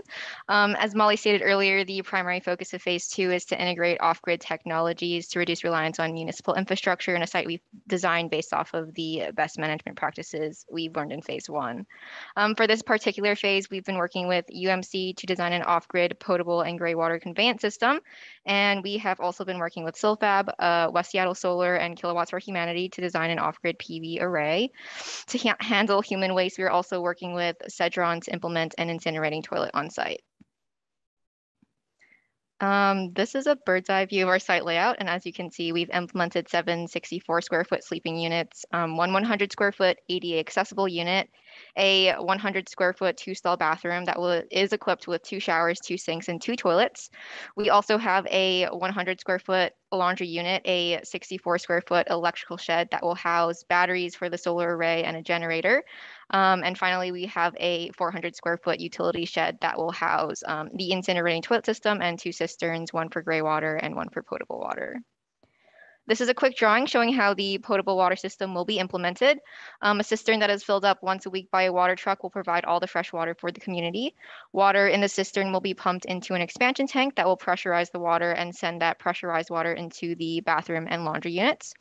Um, subsequently, all the water used to wash hands and to take a shower and to wash clothes will be drained into a sump pump that will pump all of that dirty water into the gray water cistern, which will be trucked away once a week. Um, as previously mentioned, we are also working with Cedron to implement an incinerating toilet. This here um, is an image of a process flow diagram for that, that toilet. Um, the incinerating toilet looks and operates like a normal toilet that uses water to flush. However, once the toilet is flushed, the solids are incinerated and turned into ash, while the liquid is evaporated and subsequently treated by an in-house uh, treatment system, um, which is then used to supply future flush water. And finally, to supply the community with electricity, we are also implementing a PV array. Um, we are still in the midst of designing the system, but so far we've estimated the energy demand of the community and the energy production of a 46 panel array, which will be placed on the tops of the units. Um, as you can see in this figure, the energy produced by our solar array will not meet the energy demand of the community in certain seasons. So we will be sizing a diesel generator to make up that difference um, between the electrical demand and the production. Um, to summarize, phase one of our project again is focused on designing pallet communities in a manner that promotes social well-being. Um, while in phase two, we are implementing off-grid technologies like water conveyance system, um, an incinerating toilet, and a solar panel array so that future communities can be built without connecting to municipal infrastructure. Um, thank you for tuning in. If you have any questions or comments, please feel free to email us. Great job, team. Our next speakers are Gabby Badanek and John Armstrong, Dr. John Armstrong, who will talk about city climate mitigation strategies and policy transitions. All right, thank you all for having us. Dr. Armstrong and I are excited to be here today to present on city climate mitigation strategies and policy transitions. To start off, I've been assisting Dr. Armstrong this past school year with research in local climate policy this work has stemmed from a lack of action taken by the United States federal government on climate legislation, a trend that we see globally with weak commitments to climate change mitigation. Today, the United Nations, climate scientists, and policy experts alike highlight the importance of ambitious city climate policies in achieving greenhouse gas emissions goals, including those outlined in the Paris Agreement. And over a thousand local governments across the United States have taken some form of climate action among thousands globally, drawing praise as optimistic leaders that are working to fill climate action gaps left by inadequate national legislation. So what can cities do surrounding climate policy that federal governments lack? The American Council for an Energy Efficient Economy, also known as ACE, identifies five main policy areas for cities to tackle climate action. These are transportation, buildings, energy and water, community-wide initiatives, and local government operations. These five areas gauge cities' progress towards greenhouse gas emissions reductions and energy efficiency while developing and delivering these changes equitably. We can see some examples of these city policy areas in action throughout the country. For example, Pittsburgh, Pennsylvania adopted an electric vehicle strategic plan to promote a transition from gas powered vehicles, which involved the expansion of charging stations citywide. The city of Cleveland, Ohio enacted a green building standard policy to promote sustainable and efficient management of energy, water, waste, and more in all city buildings. Grand Rapids, Michigan passed a green infrastructure policy that established measurable goals of water quality and management throughout the city and Hartford, Connecticut adopted a tree canopy plan to decrease urban heat island effects, increase equitable tree canopy cover, and plant over a thousand trees throughout the town each year. And lastly, the city of Oakland, California implemented a clean energy efficient municipal fleet under a green fleet resolution to optimize energy use for city vehicles. To Dr. Armstrong. Thanks, Gabby. Um, the recognition of the need for cities to enact ambitious policies that Gabby talked about raises this critical question. How effective are most of the cities, most of the policies that cities have adopted? Despite the ones like Gabby just described, that are making a lot of progress and all the praise that cities have gotten for taking climate action, a fair amount of recent research finds that many city government climate policies are really more symbolic than substantive, requiring minimal resources. Most governments have taken these kinds of modest actions, what we could think of as low hanging fruit policies like efficient lighting or joining networks or setting far off goals that only minimally reduce greenhouse gas emissions. Only a relative few governments have enacted ambitious, really effective policies that lead to significant greenhouse gas emission reductions, like setting strict renewable energy and building efficiency standards. This dilemma presents a great challenge that is at the heart of our research project. Given that broad base of local governments that have taken some form of climate action, over a thousand in the United States, there's a great deal of opportunity for cities to have a very significant effect in reducing greenhouse gas emissions if they can make that transition to ambitious policy programs. So we're examining whether and how modest climate actions can be stepping stones to ambitious policies. Through a study of 30 cities across the United States, we're getting started on now, the research has three core aims. First, to understand the role of modest actions in the adoption of ambitious policies. Second, to assess the socio-political conditions and factors underlying the decisions that policymakers make or may, may not make to make that kind of a policy transition. And then finally, to evaluate the common pathways in the evolution of city climate policies leading to those ambitious programs that kind of a pathway analysis that can help inform other cities that might be looking to do the same. So in summation, we believe the research will shed critical light on how cities can enact high impact, ambitious policies to achieve greater progress on climate change and sustainability. With that, happy Earth Day, everyone. Thank you very much, and we'll pass it to the next speakers. All right. Thanks very much, Tina. Excellent presentation. Our next presentation is going to be by Zach Smith, who is a member of the Engineers for a Sustainable World Student Club here at CLU. So Zach, I will turn it over to you.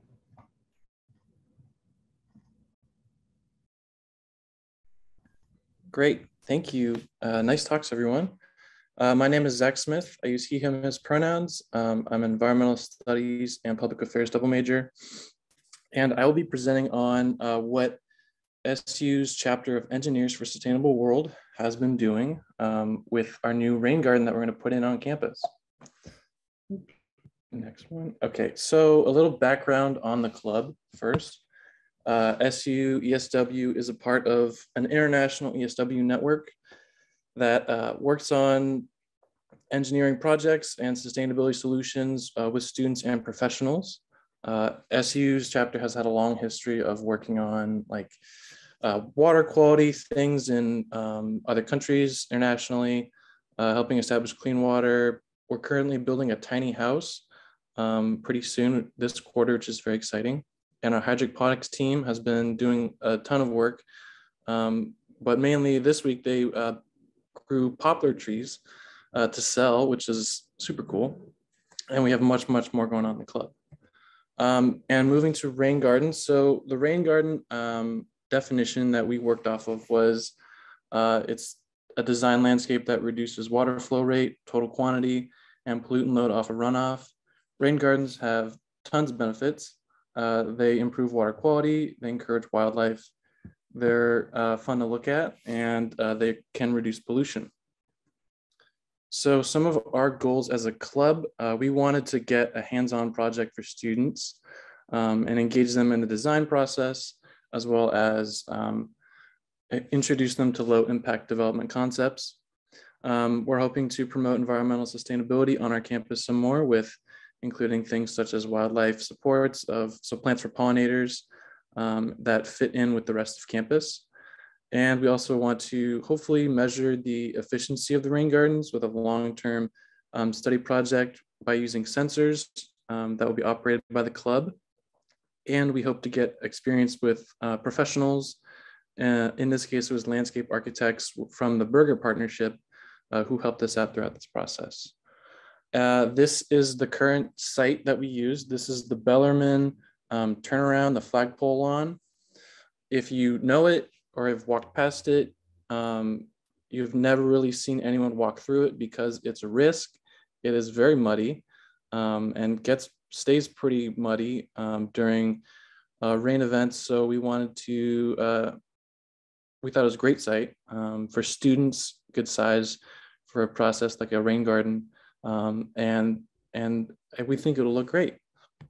So um, in our design process, we used um, charrette groups, which meant that we had, we asked all types of majors. We welcomed everyone to come to our club and work on this, this project together.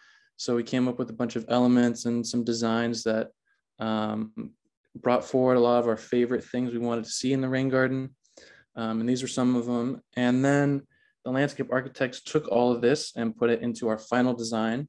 This is our final design. Some of the things will be different. Um, when we actually build, but uh, this is generally how it will look. We Some of our favorite elements included a gravel path that is ADA accessible, um, a gabion wall is my favorite part of it. I really want a gabion wall. Um, and then some, some terrace part of the garden and have a general uh, flow, kind of like a river going through it. So we can welcome people into the space much more.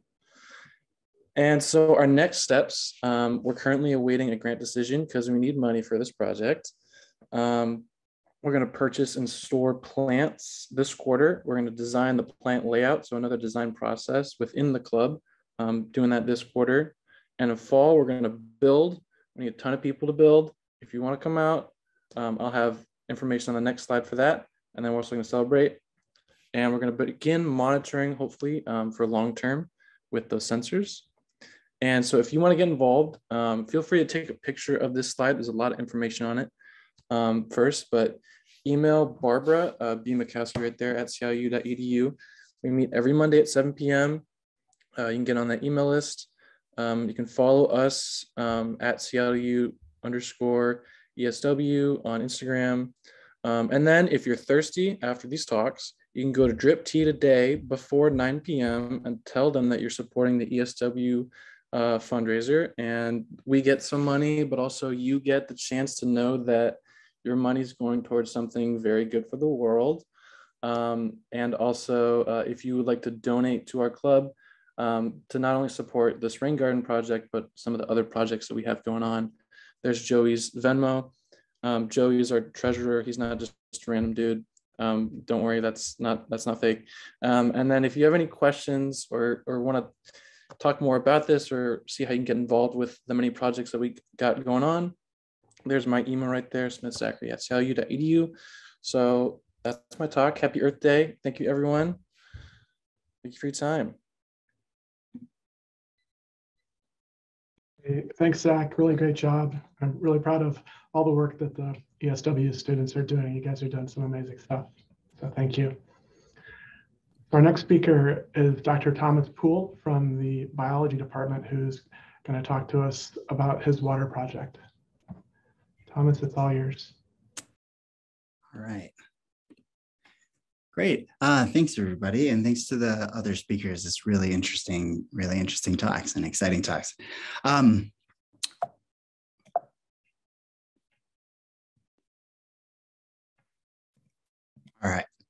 Um, I'm going to be talking today about uh, the project that I've been involved in for the last couple of years, um, working with the Akiak Native community in Southwest Alaska.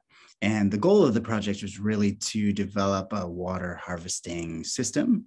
And, uh, and that was to provide drinking water, household needs, ceremonial water, um, just numerous resources sort of at a, at a community uh, level. And that, that was really sparked by uh, concern by leadership within that community and, um, and uh, just everyone that, uh, that we spoke to within the community that uh, was concerned about water security and in particular concerned about water security um, given climate change into the future. So there was concern about upstream um, development, but also just how are these resources going to change into the future. So I wanted to uh, present a little bit the, um, the, sort of the process that we went through with this project. And, um, and I think that's interesting um, as a water project, but I think interesting more broadly as an aquatic ecologist, I've been involved in a lot of projects where we we really rush to have measurable outcomes and, and products with regards to increased fisheries or or um, more clean available water. But um, but sometimes we rush through steps. And uh, the group that I've been involved in with this project, they've really, I think, done a thoughtful job of how to make sure that um, basically they're designing a water cistern project, but they're really honoring tribal sovereignty and the wishes of the community um, that's uh, that's been a part of this process. Um, and so I'm really focusing in on sort of steps one and two of our process because I think again, sort of the, the folks that have been driving this project have been really thoughtful and deliberate about um, how to have sort of a positive outcome with uh, with this the water project, but also a positive outcome sort of for all community members and, and partners in the project. And so, um, and it starts with the project genesis. And and as an academic, we often sort of just to get funding, we we sort of jump right past this and and are going to outcomes and measurable products um, and pulling together teams. And, and what Dr. Clarita Lefthand-Begay and Chief Mike Williams Sr. Uh, did is they were partners in sort of another project and they just started talking and having some really good dialogue I think about concerns within the community. What did that community want? What were they worried about? Uh, what were they not worried about? And uh, started discussing that, um, and, and, it became clear that um, through those discussions that water security was uh, a main concern. Um, and I think the interesting aspect is that as they went to sort of that next stage, they didn't sort of jump to solutions. They didn't sort of clearly articulate exactly what was going to happen next. They really started um, sort of forming that overall goal of having clean, available water into the future. Um, and then figuring out like how can we bring in the community how can we bring in um, other project team members that have different uh, expertise in different areas that can just become part of the conversation. Again, not really um, at this point even defining exactly what the solution needs to be or what the outcome of the project needs to be, but um, clearly defining some goals and making sure that um, everybody that wants to be included and heard is being heard. And, and for me, that was uh, uh, part of the process that uh, is often, as I mentioned, uh, skipped.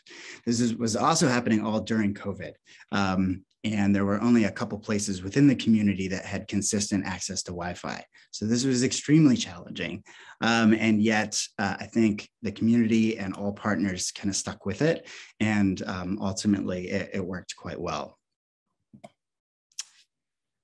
The latter part of the project, um, we continued sort of that constant partnership and in particular with the uh, co-design process something that was new to me as well was sort of having weekly check-ins with community members with partners figuring out things like site selection not just what would logistically make sense in terms of uh, the design itself, but uh, what's going to work for the community and where do they want this this water cistern and what are they really going to use uh, both now and sort of into the future. And then we ran into a slew of logistical challenges with the actual system, uh, uh, water harvesting system itself um, to sort of make it seasonal and and but we are now working on that the um, the water cistern is in place, but we are still working to get it fully operational and make sure that it's serving the community in the way that they uh, they want it. We had a lot of community partners and still do, um, which is really why the, the whole process worked. And um, if you want to learn a little bit more about the actual cistern itself and uh, how it's working now, uh, definitely touch base with me. Thank you. Thanks, Dr. Poole. Our next speaker speakers will be uh, Kira Kruchenk and Emily Nielsen, two more students who are going to talk about hygiene justice at Seattle University. Team, it's all yours. Awesome. Hi, everyone. Yeah, so I'm Emily and Kira is right over there, and we're going to be talking about hygiene justice at SU. We're both part of the club SSA, which is invested in this issue. Um, so to get us started, um, Move to the next slide. Uh, the US uses a lot of plastic, we know this. Um, 7.9 billion units of rigid plastic were created in 2018 alone to hold retail, beauty, and personal care products. Um, plastics are not only an issue impacting animals and ecosystems, they also contribute to an array of environmental justice issues. And where does this waste go? About 40, 53% is landfilled or sent to other locations, and 13 percent is incinerated. And these numbers are significant because 56% of landfills in the United States are purposefully zoned within two miles of low income and minority neighborhoods, and 79% of incinerators are purposefully zoned within three miles of low income and minority neighborhoods. So these statistics illustrate how waste is not just an environmental justice issue, it's also an economic and racial justice issue.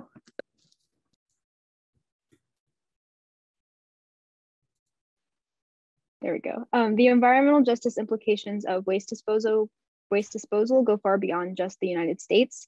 It's estimated that roughly 2.2 billion people lack access to safely managed drinking water services and 4.2 billion people lack safely managed sanitation services. Uh, so, what is hygiene justice? Hygiene justice ensures that everyone has access to affordable, sustainable, and healthy hygiene products.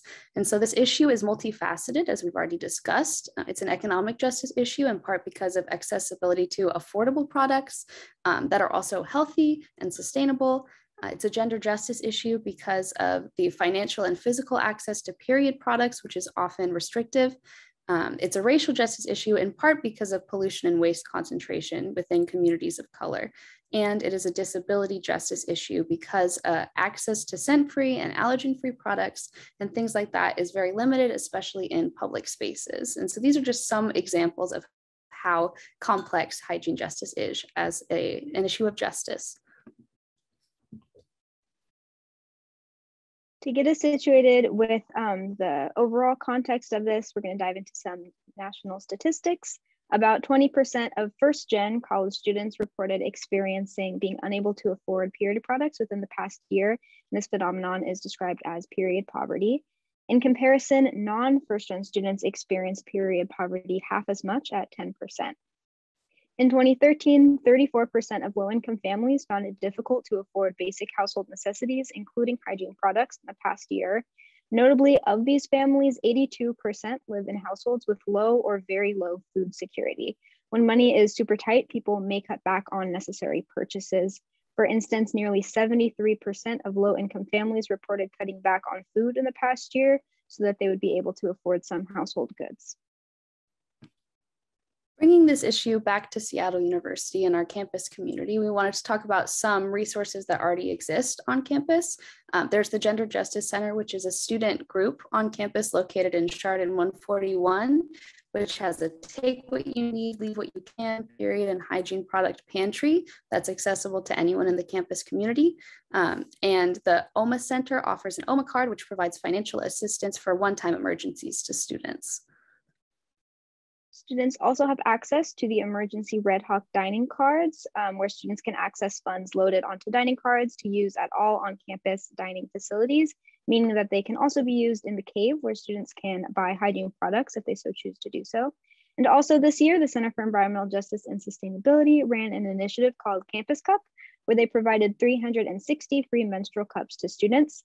By the way, students can still get a 20% discount using the code campus20 at allmatters.com. So take advantage of that um, at, uh, before the end of this school year.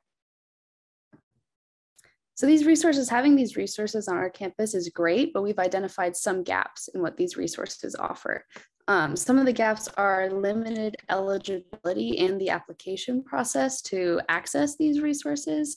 Um, resources like the Red Hawk Dining Fund don't assist students who live on campus and have a required meal plan, have not exhausted financial aid eligibility, which includes grants and loans, um, or are unemployed but qualify for unemployment benefits.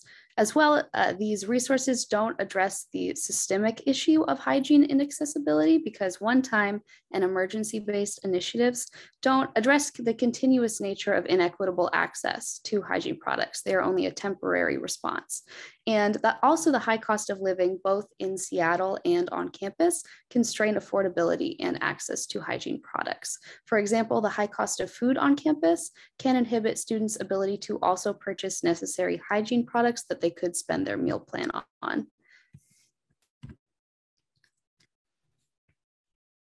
Yeah, so moving forward, um, SSA wants to engage the community to imagine how we can best exemplify hygiene justice on campus. Uh, so visit us on May 12th in C Street to share your thoughts and to pick up free samples of plastic-free laundry detergent sheets, courtesy of the company Generation Conscious. Um, and again, mark your calendars for May 12th. We'll be in C Street from 12:30 to 2 with educational resources, free samples, and open ears. And we can go to the next slide. Oh, Kara might be frozen. Yeah, so to contact us, please give us an email um, and follow us on Instagram at CLU underscore SSA for more information about this campaign and others that we're working on. Thanks, everyone. Thank you. Thanks, Kara and Emily. Really great job. Emily, I can't believe you're graduating. crazy. Time flies. So our next speaker is Dr. Larry Frank, who is going to talk to us about the path of achieving justice. So I'm going to talk uh, uh, quickly uh, about health equity, environmental impacts of community design. I'm really excited to be included in this discussion. Uh, I went to University of Washington, did my master's and PhD there. So I spent a lot of time in Seattle and uh, I've been researching for quite some time uh, the relationships between the built natural environment and, and, and health and equity. Um, so 15 uh, in 2015 like seven seven years ago already surgeon general had a call to action uh, this was uh, i think towards the end of obama's administration uh, initiated step it up. There had been enough evidence accumulated by that time that uh, neighborhood design walkability and other factors such as green space had measurable effects on health and then we better do something about it. Um, so i have to move fast. So this is a way to communicate the linkages and the type of research I do, which is large primary data collection in part, uh, major uh, clinical or observational studies, often funded by National Institutes for Health, where we track and characterize and measure the differences in people's health characteristics based on where they live. Uh, so transportation investments, land use, pedestrian environment features, and green space are all independent policy decisions made by different levels of government that affect our behaviors, how active we are if we travel on foot or by car, if we interact or are able to interact with others along the way, and our exposures to air pollution, traffic, safety, and crime and noise. And those things then get a result in a biological response, such as body weight, inflammation, and stress, that through space and time uh, add up and cause uh, chronic disease or, or, or prevention or uh, um, lower or greater likelihood of physical and mental health impacts, often in the form of chronic disease. It actually then I have another chart or another diagram like this that adds on uh, whether or not you have an existing condition affects uh, the severity of COVID if you were exposed or infectious disease and if you survive it. Um, and then we monetize all these uh, impacts. So basically the story here is that what we do in our behaviors in terms of, uh, of where we go and how we get around and our exposures are a function of where we live and where we work. So background about me is that in 1988, I started really with the first study uh, to, uh, this was in Seattle, uh, third of a century, uh, linking walkability and natural environments with travel health and climate change. Um, ended up really coining the term, perhaps along with others at the time, it sort of named itself. We actually had reached a time where we had the inability to walk. My work was um, published in the Seattle Times. I was funded by King County. We had a study called Healthscape, uh, led to Walk Score, redid Walk Score again uh, in 2012, making it a network-based tool. Um, that was funded by Robert Wood Johnson Foundation, published that this year, but the research behind Walk Score, we did a lot of twice. Um, and then we now build the smart location database and calculators for the US federal government, EPA, and the General Services Administration. That's the national coverage of walkability built and natural environment metrics for the whole country at the census block group level. Uh, we build a national public health assessment model, which is a software tool now that predicts health and related economic impacts of transportation and land use. And uh, now we're also creating, going to roll out uh, the National Environment Measures Database for the Robert Wood Johnson Foundation, uh, which is basically what they use through their culture of health, health to predict um, walkability. Um, so transportation investments, where we invest and what mode we invest in results in where development can go and does go in the form it takes. That affects travel behavior, health, and cost, as was shown by 2010 when we wrote the hidden health cost of transportation uh, for the uh, American Public Health Association. That was already kind of you know known stuff by then. There's three geographies or scales at which um, neighborhood design affects our behavior. Regional accessibility, that's transit. Uh, Seattle's been investing heavily, uh, and it's amazing to see all the different infrastructure coming online, uh, walkable, complete communities having live, work, play. The area around Seattle University is amazing. I actually have a home right there, and I'm very excited to spend more time there in the future. And then the pedestrian environment, all the design features, the seating, the lighting, the trees, the eyes on the street, those things all affect behavior. Um, how we measure behavior has evolved over time from on the left from a fixed uh, polygon using census data, which was the best we could do when I did my dissertation some third of a century ago. We've now made it very precise. So this would be a home, this little pentagon shape, and these are train stations. And within 15 minutes, you can see what a person in this location can get to. If they have to get on the train and get off, they can get a little bit of that station area and a little bit less of the one further away. What we do, we have a daily activity space, home, work, and play we pick up food and we do our activities along the way. So that is part of our behavior uh, environment. So where matters, and this is, uh, I was um, uh, a professor for 18 years um, at the University of British Columbia, uh, where I had the Bombardier Chair in Sustainable Transportation. I recently, a year ago, uh, or a year and a half ago, moved to the University of California at San Diego. Um, and this just shows kind of a, a, a transect, a, and Andrés Duany uh, a, very famous urban design architect and planner, uh, sort of from the most car dependent to the most walkable, we characterize people's behaviors and measure them in relation to the places where they live, as I've mentioned. This just shows you kind of examples or a typology of different place types. We can take those same place types, which is embedded behind this diagram, and compare to those in the most car dependent environments those in moderately walkable or in the most walkable environments were 27 and 39 percent less likely to have diabetes. This is from the Seattle-based, uh, uh, Vancouver-based study that we're doing right now. Um, there's also, uh, you know, I could show the same thing for physical activity, uh, obesity, hypertension, uh, heart disease, uh, similar pattern relationships. But on the mental health side, which I think is very interesting and related to the equity and social justice, is being in a more compact and walkable environment has been found to be associated with more uh, uh, sense of community uh, and the in the most moderate and, and moderately and, and, walkable areas. So walkable and for whom? So walkability does not uh, translate into the same uh, impacts across uh, uh, demographic subgroups. Wealthier people have green space, shops, entertainment, and other destinations. And the more poor instead don't get those benefits, but they get air pollution, noise, crime, and injury risk. So health outcomes differ as a result. It's a social justice issue, a serious one, because the poor are being displaced from the more walkable to the less. That's a huge issue, um, and we're studying that now. And that has led to really, and I have a lot of data all over the country, so I picked Seattle to show you concentrated populations. Uh, we can see people of color on the left and low income on the right, which follows a similar pattern in terms of lack of tree canopy. Uh, the wealthy are getting much higher percentage of tree canopy and coverage. Uh, noise exposure um, is correlated again in the same pattern uh, with more um, exposure to noise for the less fortunate. Same with uh, injury risk uh, and proximity to freight facilities. These things all stack up. So we are creating an equity-based walkability measure, a composite measure, tree canopy, and all the things I just mentioned. And we can then relate that back to people's health. Those living in the USA's block groups with the worst environmental exposure, you can see 15%, uh, more than double uh, those people of color compared to whites, uh, and 12%, uh, nearly 1.5 times as high compared to those that are higher income. So we see these relationships.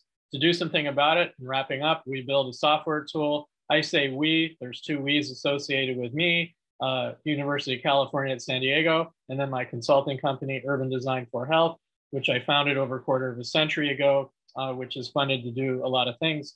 Uh, and here has developed uh, the nationally applicable uh, National Public Health Assessment Model, which empowers communities, planners, and public health officials to quantify localized health impacts of alternative investment scenarios and supports current conditions and future forecasting allows for local environmental data integration. This is where the tools uh, been applied so far with several other uh, um, case studies coming online.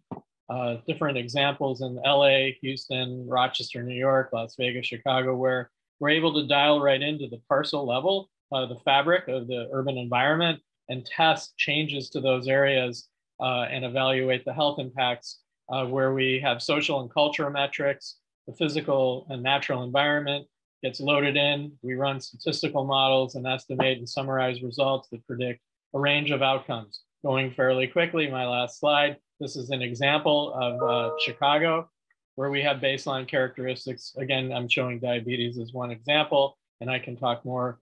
So in the, in the end, um, all of these effects on health and workforce productivity have a huge impact on our economy. Um, and this just shows an $8.41 payback is what we learned by estimating the health and economic benefits of investing in active transportation infrastructure in Los Angeles, that they have the $13 billion set aside for these investments. And we were able to uh, develop a, a, a, a, tool or a way to evaluate the, the benefits of that. So I thank you so much and uh, um, look forward to any comments uh, and feedback and enjoyed listening to your talks.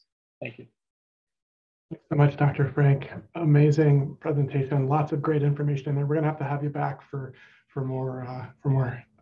So so now um, I'd like to introduce Marrakech Maxwell, who is the student body president here at Seattle University, who will introduce our keynote speaker. Marrakech. Thanks so much again. Um, it is my privilege and honor again in the second half of these Earth Talks today to introduce our second keynote speaker. David Mendoza is the Director of Advocacy and Engagement for the Washington chapter of the National Conservancy, overseeing state and federal lobbying and policy communication staff. While representing Front and Centered, a statewide coalition of communities of color, David led the, the development of the now enacted HEAL Act, Washington State's foundational environmental justice law. He also served as a co-chair of the State Environmental Justice Task Force and has been recently appointed by Governor Inslee to the Environmental Justice Council. He is a graduate of Pitzer College and the Seattle University Law School and is a licensed attorney in California. It is our pleasure to welcome you to Seattle U Earth Talks, and I will now hand it over to you, David. Thank you. Uh, very happy to be here tonight to end uh, this this evening or afternoon to help uh, end this really innovative day of conversations and ideas that presented um, all afternoon. So again, I'm David Mendoza. I'm the Director of Advocacy and Engagement, currently the Director of Advocacy and Engagement at the Nature Conservancy. That means I manage our state and federal government relations team. There's government relations director in each of those areas, as well as a policy communications, and I manage that team and effort for our Washington State chapter. So the nation, the I'm sorry, the Nature Conservancy is, um, you know, quite literally the world's largest nonprofit. We operate in 76 countries uh, across the world. We manage or own 2 million acres of natural reserves, um, preserving for the ecological benefits of different um, forests or um, you know other kinds of plains uh, as for their kind of natural uh, uh, plant life benefits, but also to preserve species.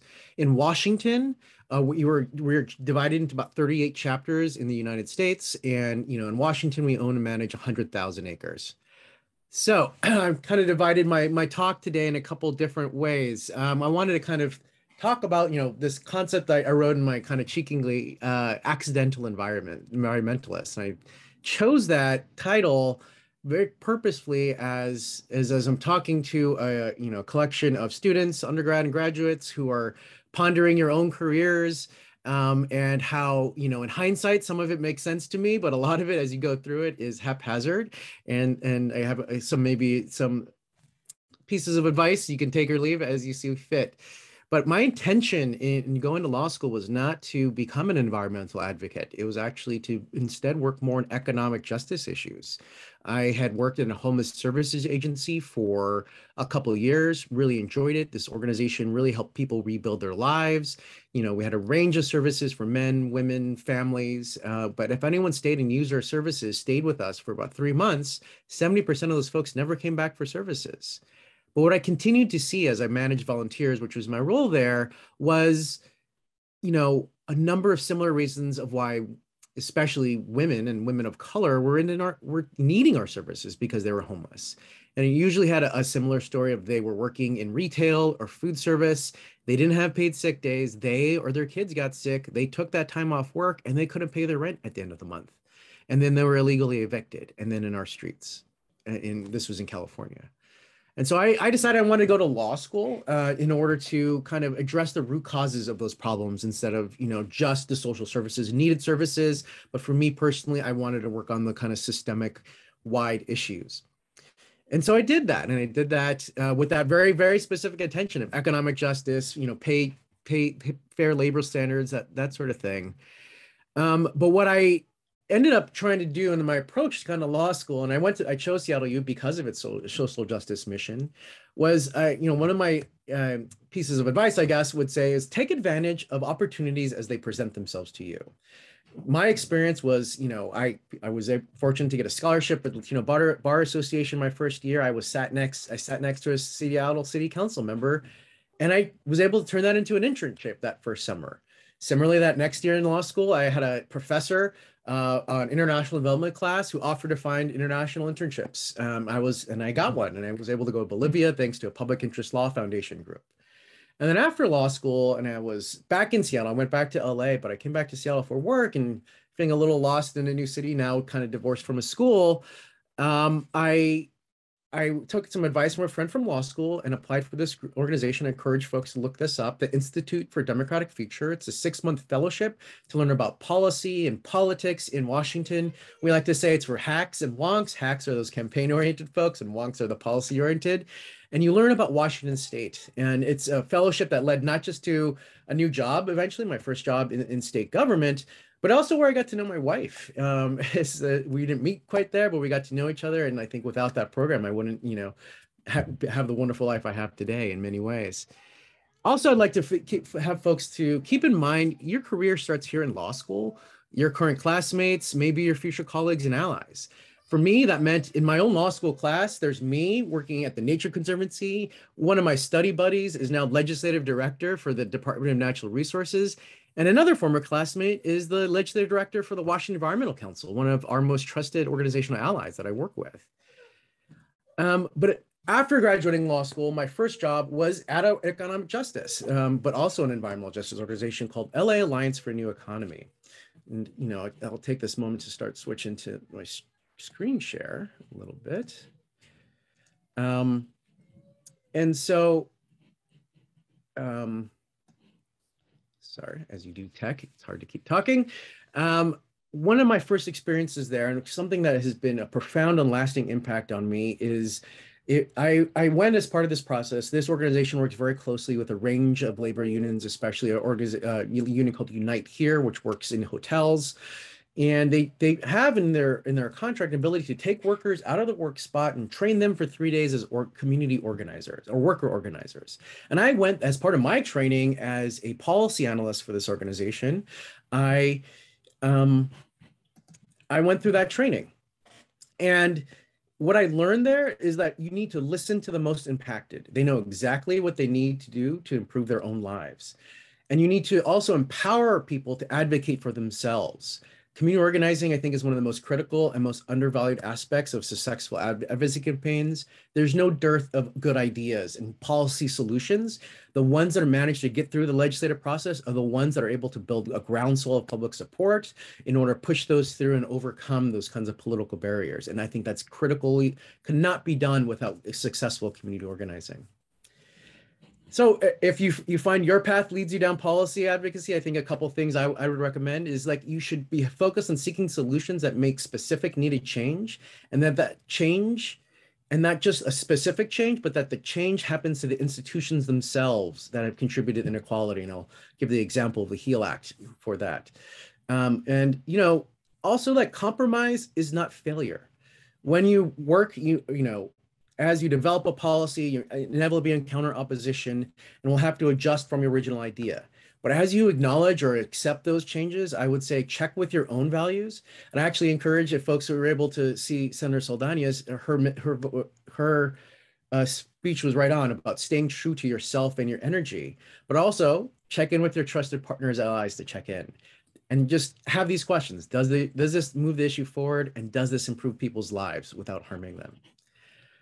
And so, you know, before I wrap up this part, I have last three like quick last pieces of advice for folks as you as you try to find and maybe survive in movement advocacy don't be hyper focused on a specific issue that you want to work on. Instead focus on what you like to do every day. What is it that you know you enjoy about work in general? Are you do you like talking to people and trying to get them to support your work? Maybe you're a community organizer or, or a fundraiser. Maybe you just you know like many law students like being behind that desk and doing research. Maybe you're a policy analyst. So think about your career search in that way versus i need to work in this one kind of issue itself. As as my own experiences taught me that. And something that's hard, and I, I don't, and I say this especially for uh, for students of color as you start working in these large institutions, that you are not your the institution you work for, you know. But unfortunately, some folks will hold you personally accountable for all its faults, and so you know, I a lot of experience on this, both as you know a lawyer and a lobbyist, probably two of the most hated uh, professions in the world. But also working for government and how government has really harmed so many communities across the way.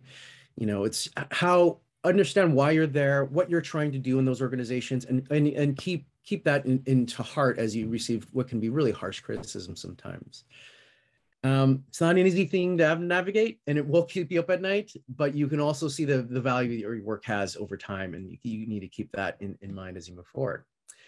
Um, I've had on the screen a little bit of my accomplishments uh, that I've been able to, very fortunate part of these very significant legislative wins at the local level. I really have a strong uh, focus at local and state legislative advocacy because I feel that's where we can really effectively implement progressive change in our state and city. And so that's that's been a large focus of my work. I'm really not going to touch about most of those, just kind of wanted to show you the breadth of kind of work I've done. We're going to dive into what's been really exciting. I'm really happy to end your, your day here talking about the exciting policy we've been able to pass here in Washington State.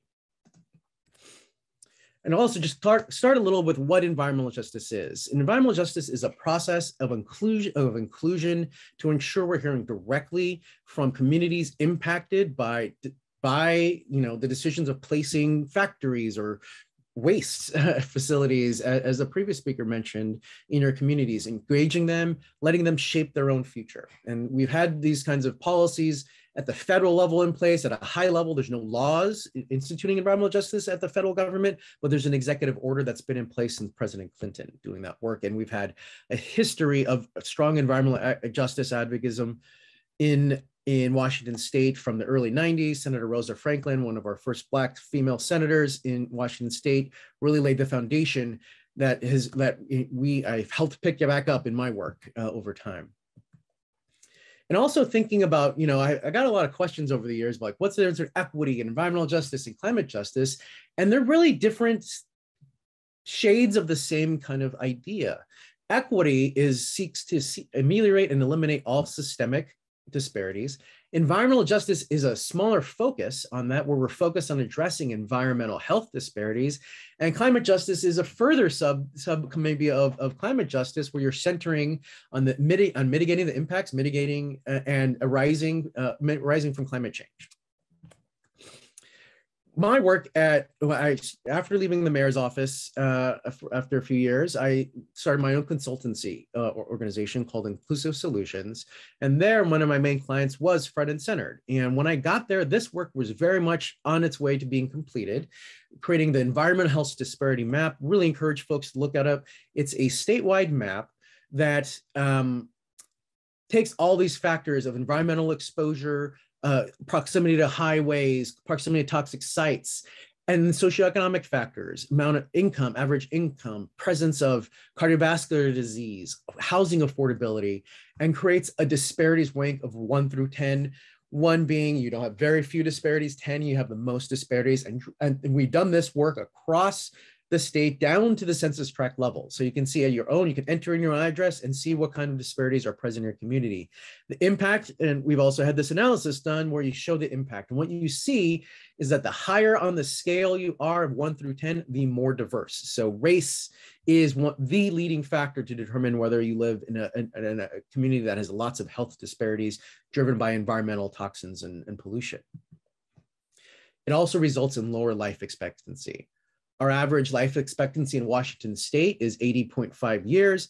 If you live in one of the healthier communities in our state, you can expect to live two years longer than that.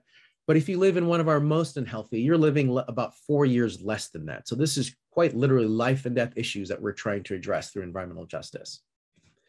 So in coming into this organization, I saw this opportunity of taking this map. I didn't want it to be just sat on a wall and stared at occasionally by staff. I wanted to, how do we reject them and make them into so i had this germinative idea that i went back to the front and center coalition and we developed the full compo the full heal act as a cohort as a co coalition over many over a few the next few years. But it does a few things. Um, this the, this is a, a, graphic from our first version of heal act. We didn't quite get all the way over the finish line with that but what we did get from our first effort of trying to pass the heal act in 2019 was a Washington State Environmental Justice Task Force, and this was uh, we again in in in in alliance with kind of are the missions and values of environmental justice we went across the state nine different community conversations in, uh, eh, for both front and centered sponsored pre kind of conversations to let folks understand what the environmental justice task force was doing. And then the task force itself would show up when we could. We also did this during covid in person hearing directly from communities and all that input fed the final report that based that we based the last heal act on also in 2019 we passed at the time the most equitable uh, 100% clean energy bill. That means we have no coal burning in our state by 2025. By 2030, we have a greenhouse neutral standard for our utilities. And by 2024, 45, all of our utilities will be 100% clean. Some eco components that we put in that we put in that bill include all utilities have to provide low income assistance to, the, to their clients and tax incentives for clean energy projects that employ women minority and also incentives for or the for the new infrastructure to be built direction for utilities to build that in un, overburdened communities so the opportunity for new jobs in the clean energy economy but in 2021, we did get the HEAL Act through based off, you know, largely based off what was in the Environmental Justice Task Force report. It has this definition of environmental justice. It's a two-part definition. One part reflects the definition of environmental justice that's in our, our in the federal government executive order, which is about engaging communities. We added a further layer saying not just engaging, but the result of that has to be uh, changing the, the life of communities of color or, or, impacted community, overburdened communities so that you actually address the problem and not just listening to itself. Uh, we have a permanent environmental justice council, which has 14 members, tribal government representatives, different community of color representatives. I'm there as a practitioner representative, someone who has experience in working environmental justice. Um, and the seven agencies are directed as part of their core mission moving forward to address environmental justice. And what does that mean? They have to, before they build a, for, before the Department of Transportation builds a road now that's over $15 million, they will have to do an environmental justice assessment to understand what the impacts of that road might be in a community and how to maximize the benefits and minimize the harms in the final design. And another benefit is creating an interagency work group to work in conjunction with the council that will what I found in my initial work with different state governments was they were talking about wanting to do environmental justice and talking with us at Front and Centered, but weren't talking to each other. And so this is a table for cross-agency collaboration as well.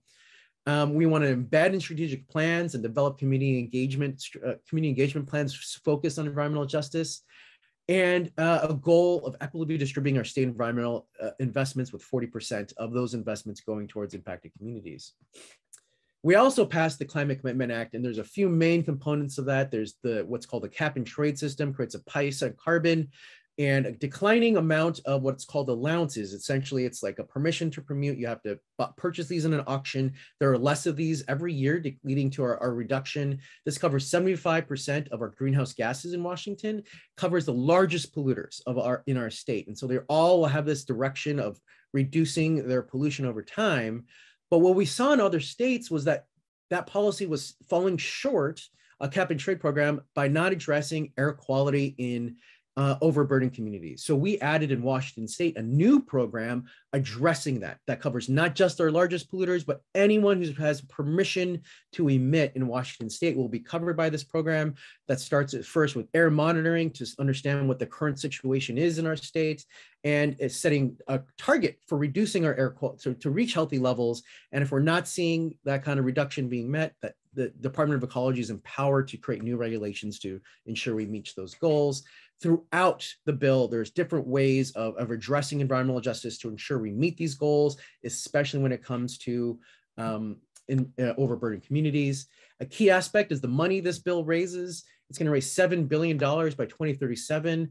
5.2 billion was just assigned through the Move Ahead Washington Act, which is the state's largest investment in public transportation, in walking and mobility and bike kind of infrastructure. Um, our state has typically only invested about 2% of our state transportation budget in these kind of investments. We're now up to 22%. So a huge increase thanks to the investments from the Climate Commitment Act. And also a first in our state requirement in state law to have 35% of all these investments go towards overburdened communities, 10% in tribal lands, and 20 million dedicated for that air quality work and some also some other investments that are needed as well. We also did a lot of good work this past session. Uh, the Move Ahead bill, I just uh, transportation investments I just mentioned, clean energy siting. We have all these requirements of getting us to a clean energy economy. We need to ensure that we actually will build the infrastructure needed. And so, how do we improve some of our processes? Our, our environmental protection acts have already done a great job of keeping bad projects out. Unfortunately, they can be misused by you know NIMBY type folks who don't want infrastructure in their backyard because they're wealthier. They don't like the way it obstructs their views. And so, how do we maintain our environmental standards, build this clean energy economy without kind of running into these crossroads of that kind of concern? Focused efforts on methane pollution, which is one of the most uh, uh, intense greenhouse gases. And then, how do we do a sprawl loophole in our Growth Management Act that would continue to allow kind of exurban development um, based on how quickly you can work around the system? And so, those are all, there's still a lot more work to do. The rules for the Climate Commitment Act are being undone right now. We need to do work to save our salmon across our state. Uh, clean buildings. Buildings are the one of the largest areas of continued pollution. And how do we get our, our buildings off natural gas and using things like heat pumps to both heat and cool our housing? And how do we conserve and reforest 2 million acres? These are all challenges that the environmental community at large and the Nature Conservancy are taking on today. And that I got through it all in a very quick time. So I hope that was understandable for folks. Yes, thank you so much again um, for your presentation. I know that I've learned a lot, and I'm sure many, many other folks here um, also have learned a lot of really awesome things today. Just as a reminder, if anyone is interested in submitting a Q&A, you can use the Q&A feature. Um, I will be monitoring those. However, for starters, we actually have a question for you um, from an SU community member. for the HEAL Act, have the parameters for the environmental justice assessment been established? No, they haven't. That's one of our main goals. So those the agencies have until next July to actually start using that. And so our Environmental Justice Council had our first meeting April. Uh, one of our first tasks is to make recommendations to agencies of what are those parameters, how should they conduct these assessments, in addition to the community engagement plans that are required, we're also going to make recommendations on that. And then also making recommendations on the rules related to the Climate Commitment Act on ensuring that we're meeting our environmental justice goals um, and reducing pollution in overburdened communities. Absolutely. Um, a secondary question that we also have from the community, I think we'll have time for this one and one more um, before the end of our time. What legislative initiatives have you seen fail that could have succeeded with more advocacy from the public? Well, that's that's hard. I think, you know, the ones that are fresh in my mind as of this year is the and it's it's hard because some of this stuff is very dense and it's hard to public message things like um, denser housing right? And so one of you know for folks not tracking what this means is you know the city of seattle is about 60% single family zones where you can't even build duplexes or triplexes.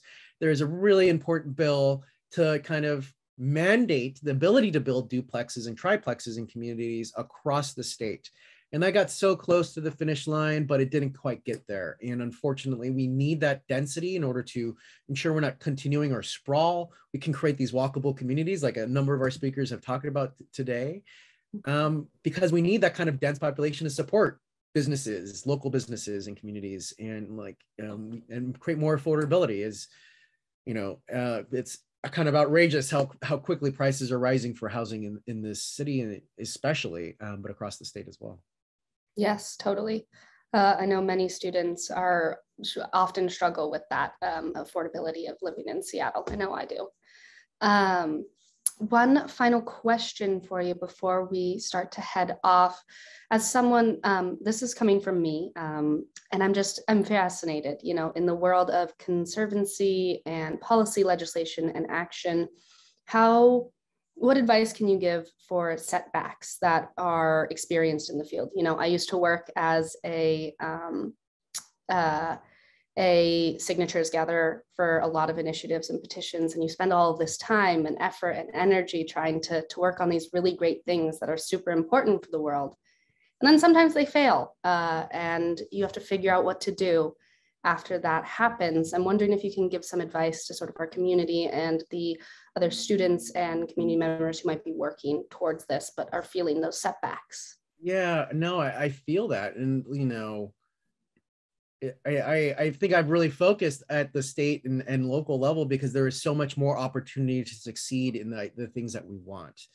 Um, I think there's we the federal government needs to weigh in, but there's just you can feel a little bit small when you're trying to do work at that national kind of level. And so that's where I encourage folks if you want to ensure you find hope, not work at, at both as much as you can. We need support at all levels of advocacy and there's always lessons and loss to be had. Like what didn't resonate? What you know how did your message get lost in the opposition right? You know before we got the climate commitment act we had two statewide initiatives for carbon taxes in our state that both failed. Uh, one that didn't have a broad environmental community or people of color support and one that did and it still didn't get through. And so what did we learn from those experiences that led us to the success? We, we took those lessons of what failed what didn't work you know how our messaging got and got to go kind of got away from us our advocacy got away from us and we were able to pivot and, and move forward in, in new ways uh, to get the things like the heal act and the climate commitment act um, even the year that you know at, right after the the you know the last carbon tax initiative failed we were able to get the 100% clean energy bill. And so it's maybe we aren't able to get that thing that was in front of you but the energy and coalition work shouldn't just be lost and dissipate take the mm-hmm. energy and refocus it into the new direction on you know i think there's always we want we all want large systemic change. Sometimes we can't get there in one bill.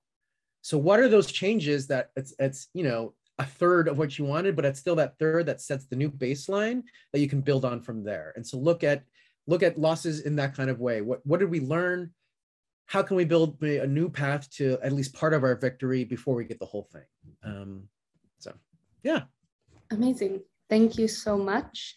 Um, we're coming to the end of our time, so I will just say thank you again for coming and speaking with all of us uh, at Earth Talks this year, and I will pass it back off to Dr. Thompson to wrap us up. Thank you everyone for coming. Thank you much, Marika, for moderating our keynote speakers today. And David, thank you for such an excellent presentation. You really do have your finger on the pulse of the state legislature. I've, learned so much today. It's really terrific. And thank you to all of our speakers today at our third annual Earth Talks event. And for all of you who, who uh, spent time with us today, really appreciate it. So happy Earth Day. Get out there in the sunshine while it's still with us. Have a great weekend and we'll see you next year. Thanks so much. Bye-bye.